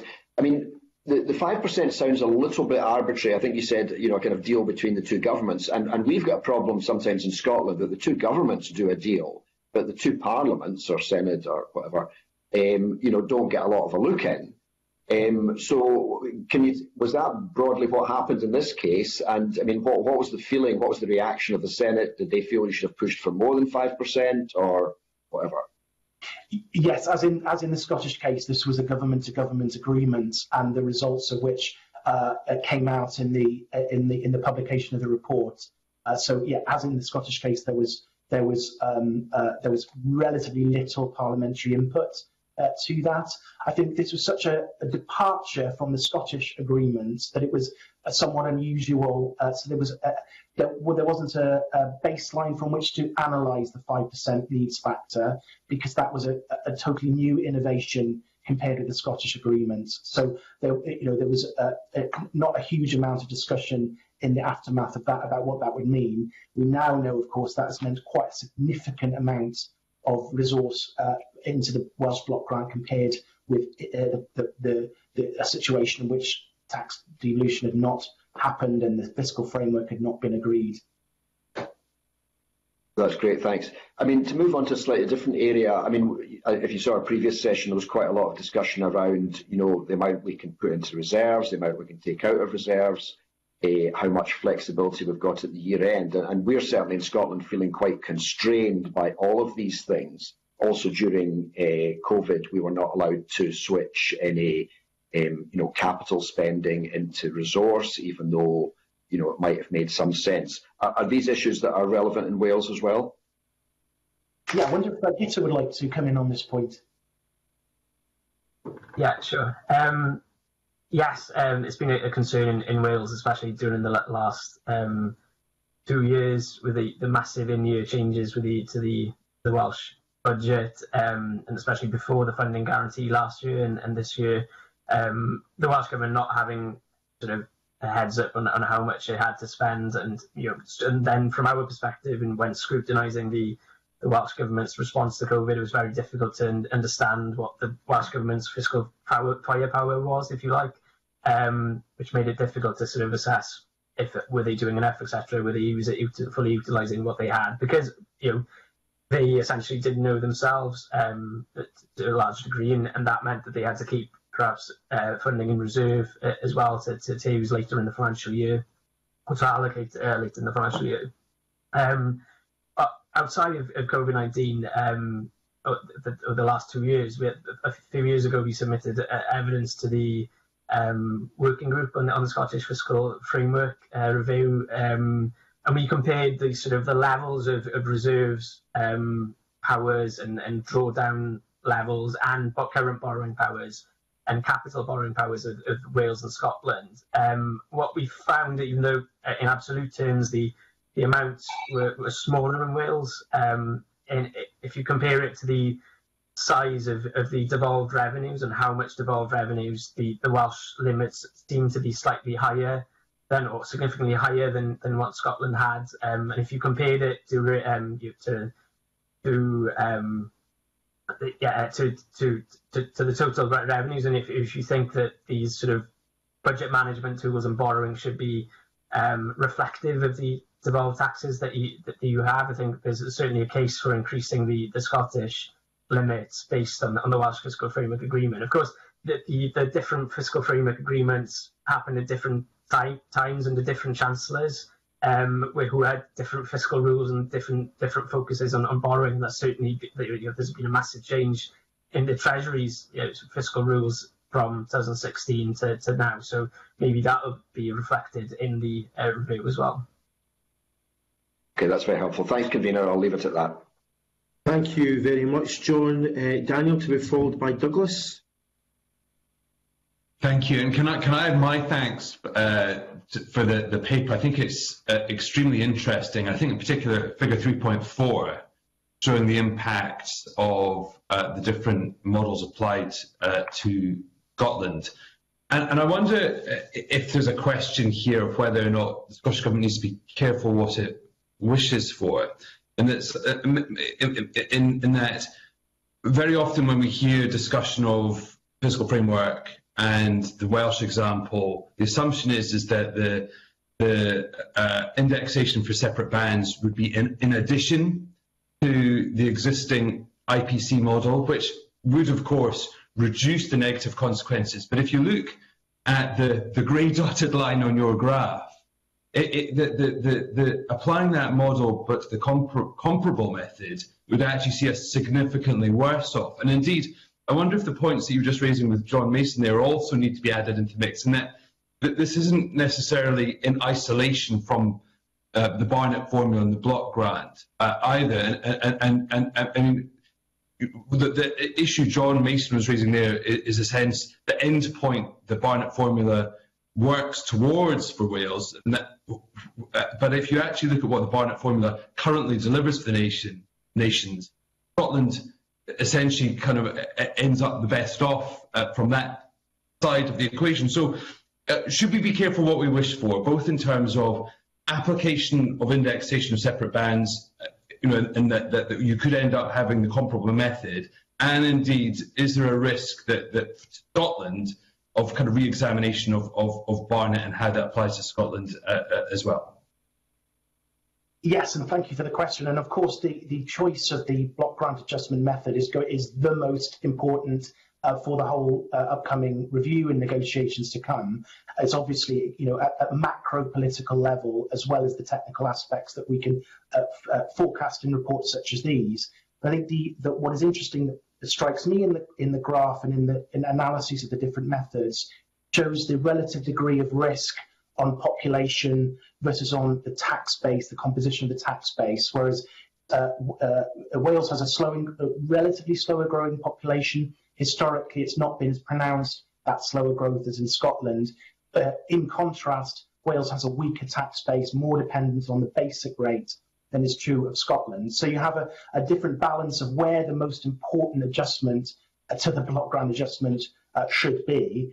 Um, if you were to negotiate the continuation of, uh, of index per capita uh, and add to it the three separate uh, BGAs for income taxes in the Welsh model, that would of course be the, the most preferable outcome for the Scottish government and Scottish budgetary perspective.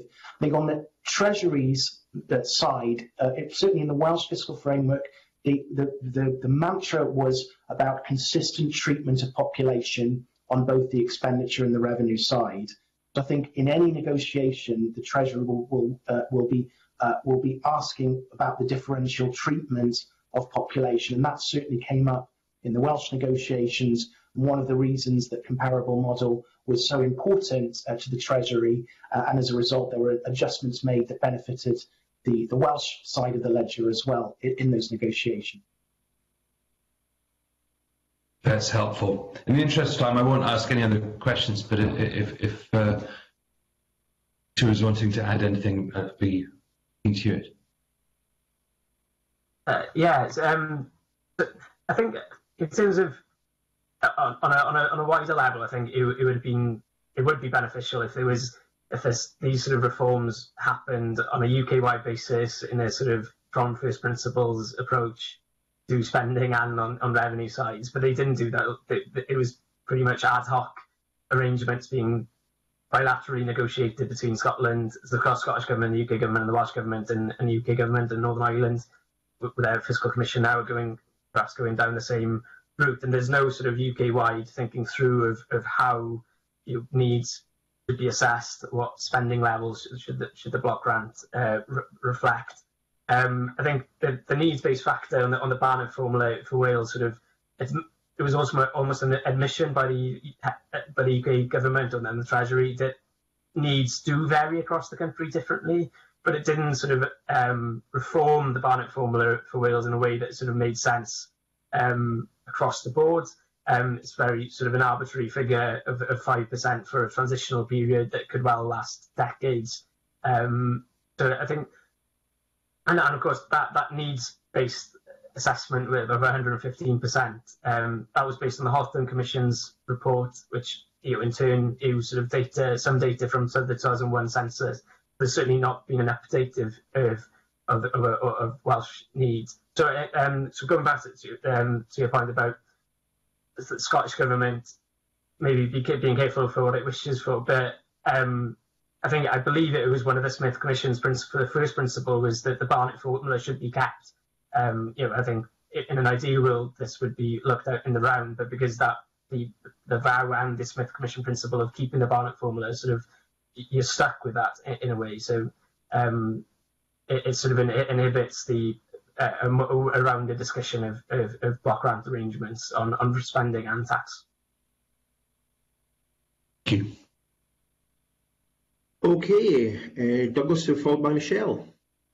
Thanks, convener, and thanks, Ed and Guto, for your your uh, um, your submission. It's been uh, really helpful. Um, what drew my attention was uh, figure 3.2 and uh, 3.3. That it's almost a mirror image actually between what's happening in Wales and, and what's happening in, in, Scotland. Now, you mentioned, you know, many of these risks that Scotland have were, you know, out with their control. You mentioned the uh, decline in, in oil and gas, but I guess there could be other factors in there as well that would, you know, draw that figures down um, as well. Is that right?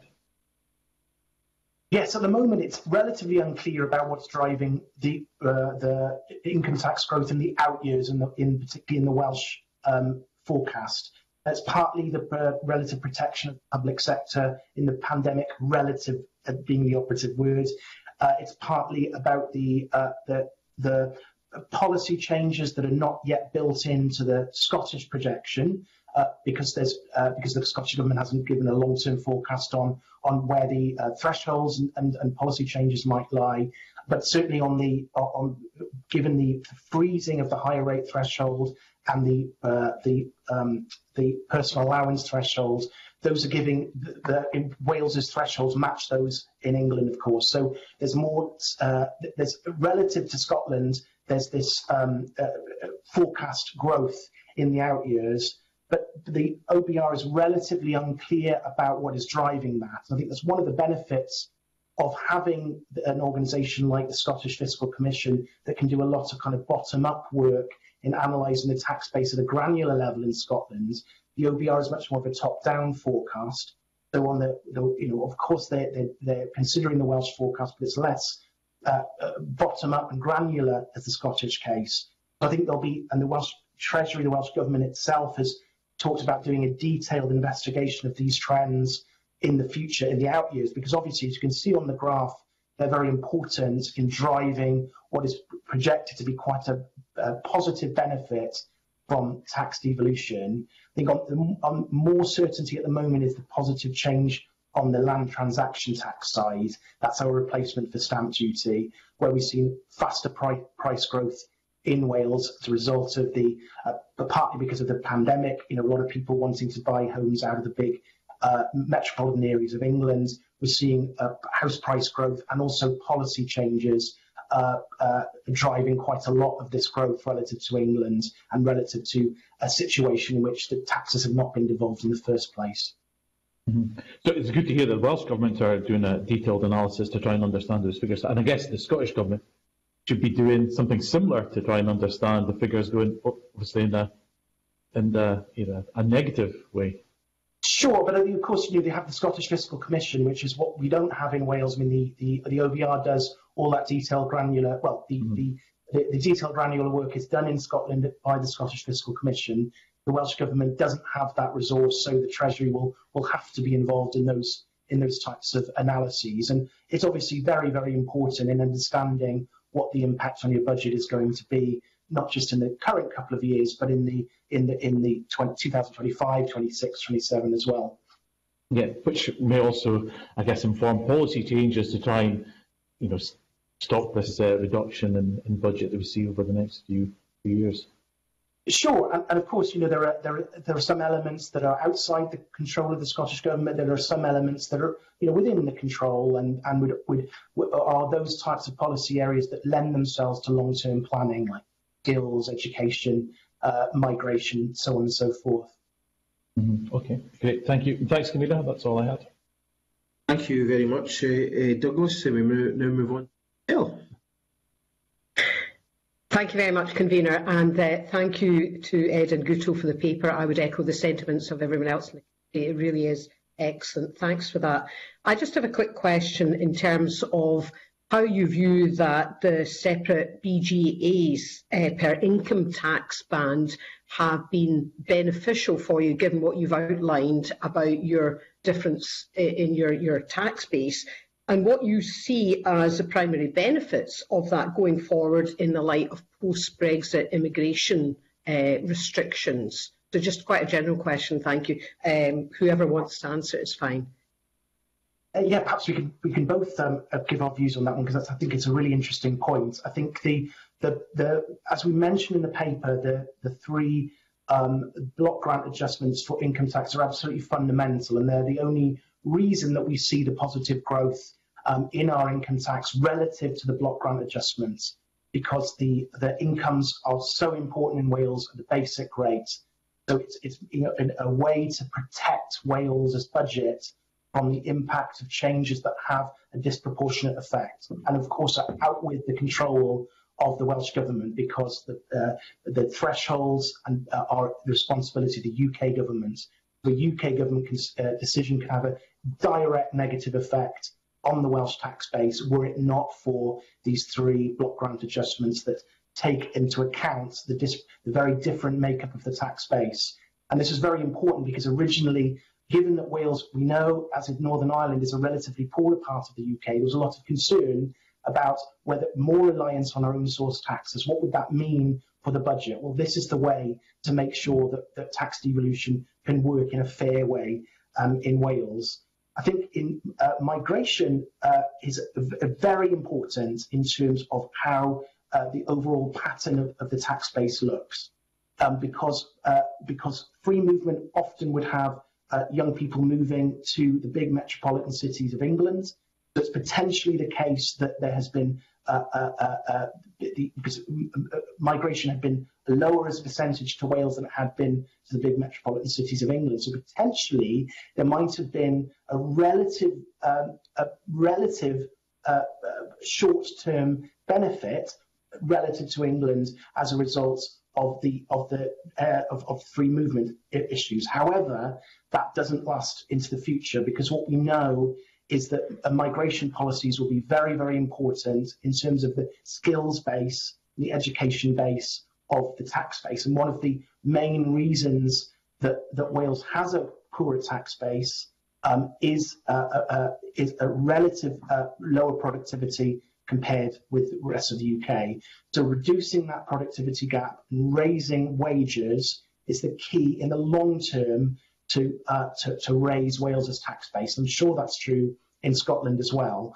So while we have a while we can we have relatively small short-term adjustments when we look at the impact on the block grant adjustments to the uh, to, to the, what we're raising in revenues in Wales, in the long term, the, the, the migration and retention skills and highly educated populations are very, very important in that long term.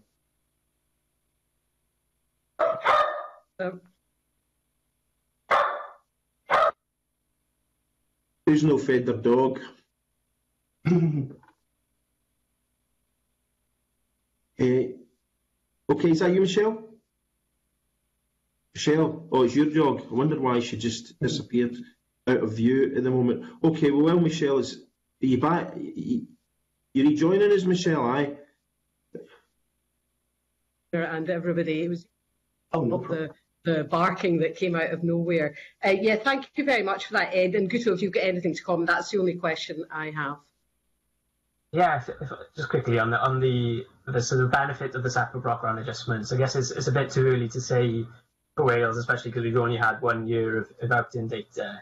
Um, what we can say is sort of modelling of, of the effect of, of this. Had it been in place since about 2010, it would have had uh, cushioned a, a lot of the the blow to, to the Welsh um, tax base had tax devolution been in place in previous years. I think it's interesting since uh, full tax devolution in Scotland and from 2016-17 onwards, the relative growth in uh, in the additional rate in England, Northern Ireland uh, has, has been a lot higher than the rest of the tax base. It's been driving a, lot of the growth in the overall tax base in England, Northern Ireland is at the very high end um, which is, is quite interesting. Which having separate block grant adjustments would have would have, have cushioned the, um, the Scottish budget somewhat uh, during the past uh, four years, um, because that the, the additional rate tax base is is a smaller share of the of the Scottish um, overall Scottish revenue. So even if if they had grown um, had higher incomes in Scotland grown in line with higher incomes in in uh, in in England, Northern Ireland, that wouldn't have had the same effect on total revenue growth. So um, it would have been beneficial for the Scottish Government to have that during recent years. Thank you, Convener. Thank you. Okay, thank you very much. And that's exhausted questions from the committee, but I, have just got one myself to finish off, and it's um, uh, Ed. Um, you know, in, in section 2.3, you list how in the last uh, seven years Wales has gained four taxes, not, uh, full devolution of non-domestic business rates, land transaction tax, landfill disposals tax, Welsh rates or income tax. I'm just wondering if we look at the entire tax structure of the UK, there's still a huge amount that's obviously reserved to the United Kingdom. You know, savings and dividends, income tax, VAT, national insurance, fuel duty, alcohol and tobacco um, taxes, inheritance tax, uh, etc. So where, where does Wales go from here? Is, is Wales um, uh, now, settling in with the taxation regime it has and seeing how things progress, or is Wales looking to see if, we if we can devolve uh, further taxes? I mean, and thank you for the question. I mean, on that question, of course, it's it's that, that intersects with politics naturally, uh, where where, where the where the questions about the relative balance between reserved and devolved powers, both in the tax area and also more generally. I think, in, uh, as you can see from the list of taxes there that you that you mentioned, they are very familiar to a Scottish audience. In that, that Wales, is, even though we've had our own commissions, the recommendations that have subsequently been implemented by law have tended to follow the models laid down a few years prior in Scotland. And so in many ways, the, the, the, the range of possibilities for tax devolution in Wales is limited by what has gone prior in Scotland. And, and I, you know, would use the term as like a Scottish slipstream, in that, that Wales would not necessarily gain all the powers that have been devolved to Scotland, but it sets the kind of menu of options that might be chosen from in a Welsh context. I think one of the areas in which the, the, the politicians of various persuasions have been looking in Wales is on the income tax powers, because obviously that is an area in which Scotland has much more extensive powers yes, constrained by the block grant mechanisms we've been talking about, but particularly over the changes to the thresholds and uh, and the fact that all non-savings, non-dividend income is devolved to Scotland. That is that is logically the next step in the Welsh tax devolution journey, although it's a it's of course entirely integrated with politics on on on on whether or not those types of developments occur, um, particularly if you were to model a an income tax system, you would not pick the bands and the thresholds that we have for Wales at the moment. So we've got UK thresholds that, given Wales's relatively lower incomes, they don't really match how you would how you'd model a progressive tax system given Wales's incomes. Uh, so thresholds, I think, is, is one of those areas. And you mentioned others that have obviously been evaluated also in the Welsh case, corporation tax, VAT, aggregates levy, air passenger duty, a number of those taxes that have often been brought up. But uh, in the context of the difficult, if you like, uh, intergovernmental relations uh, between the, the countries of the, these islands at the moment, I think that that's a very much a political question as well as a fiscal question. Yeah, thanks very much for that. Yes, I don't want to really intrude on too much on political things. I mean, I think Scotland, obviously, corporation tax and potentially a share of VAT assignment might be something that happens here, although, I mean, I would be quite keen on alcohol and tobacco duties personally, but um, certainly help, um, given some of the issues we have to deal with uh, in relation to those matters. Um, but but um, at this point, I just want to thank you, Ed, uh, and also Guto for your evidence today. And also, I want to apologise for delaying you by some 30 minutes because of the previous session. Uh, so I really do appreciate your patience. So the committee will consider next steps of this work once the UK and Scottish Government agreed the terms of reference timetable and authorship of the report. Uh, we may in fact invite uh, Ed and Guto back. Uh, we didn't spend a lot of time asking questions, mainly because I believe the report was so detailed and we, already had so much of the answers before us. So thank you very much for that. Uh, I'll now have a two minute break while we go into a private session to discuss a work programme and members should log on via the MST, the MS Teams link in their calendars. So I now close this public part of the meeting.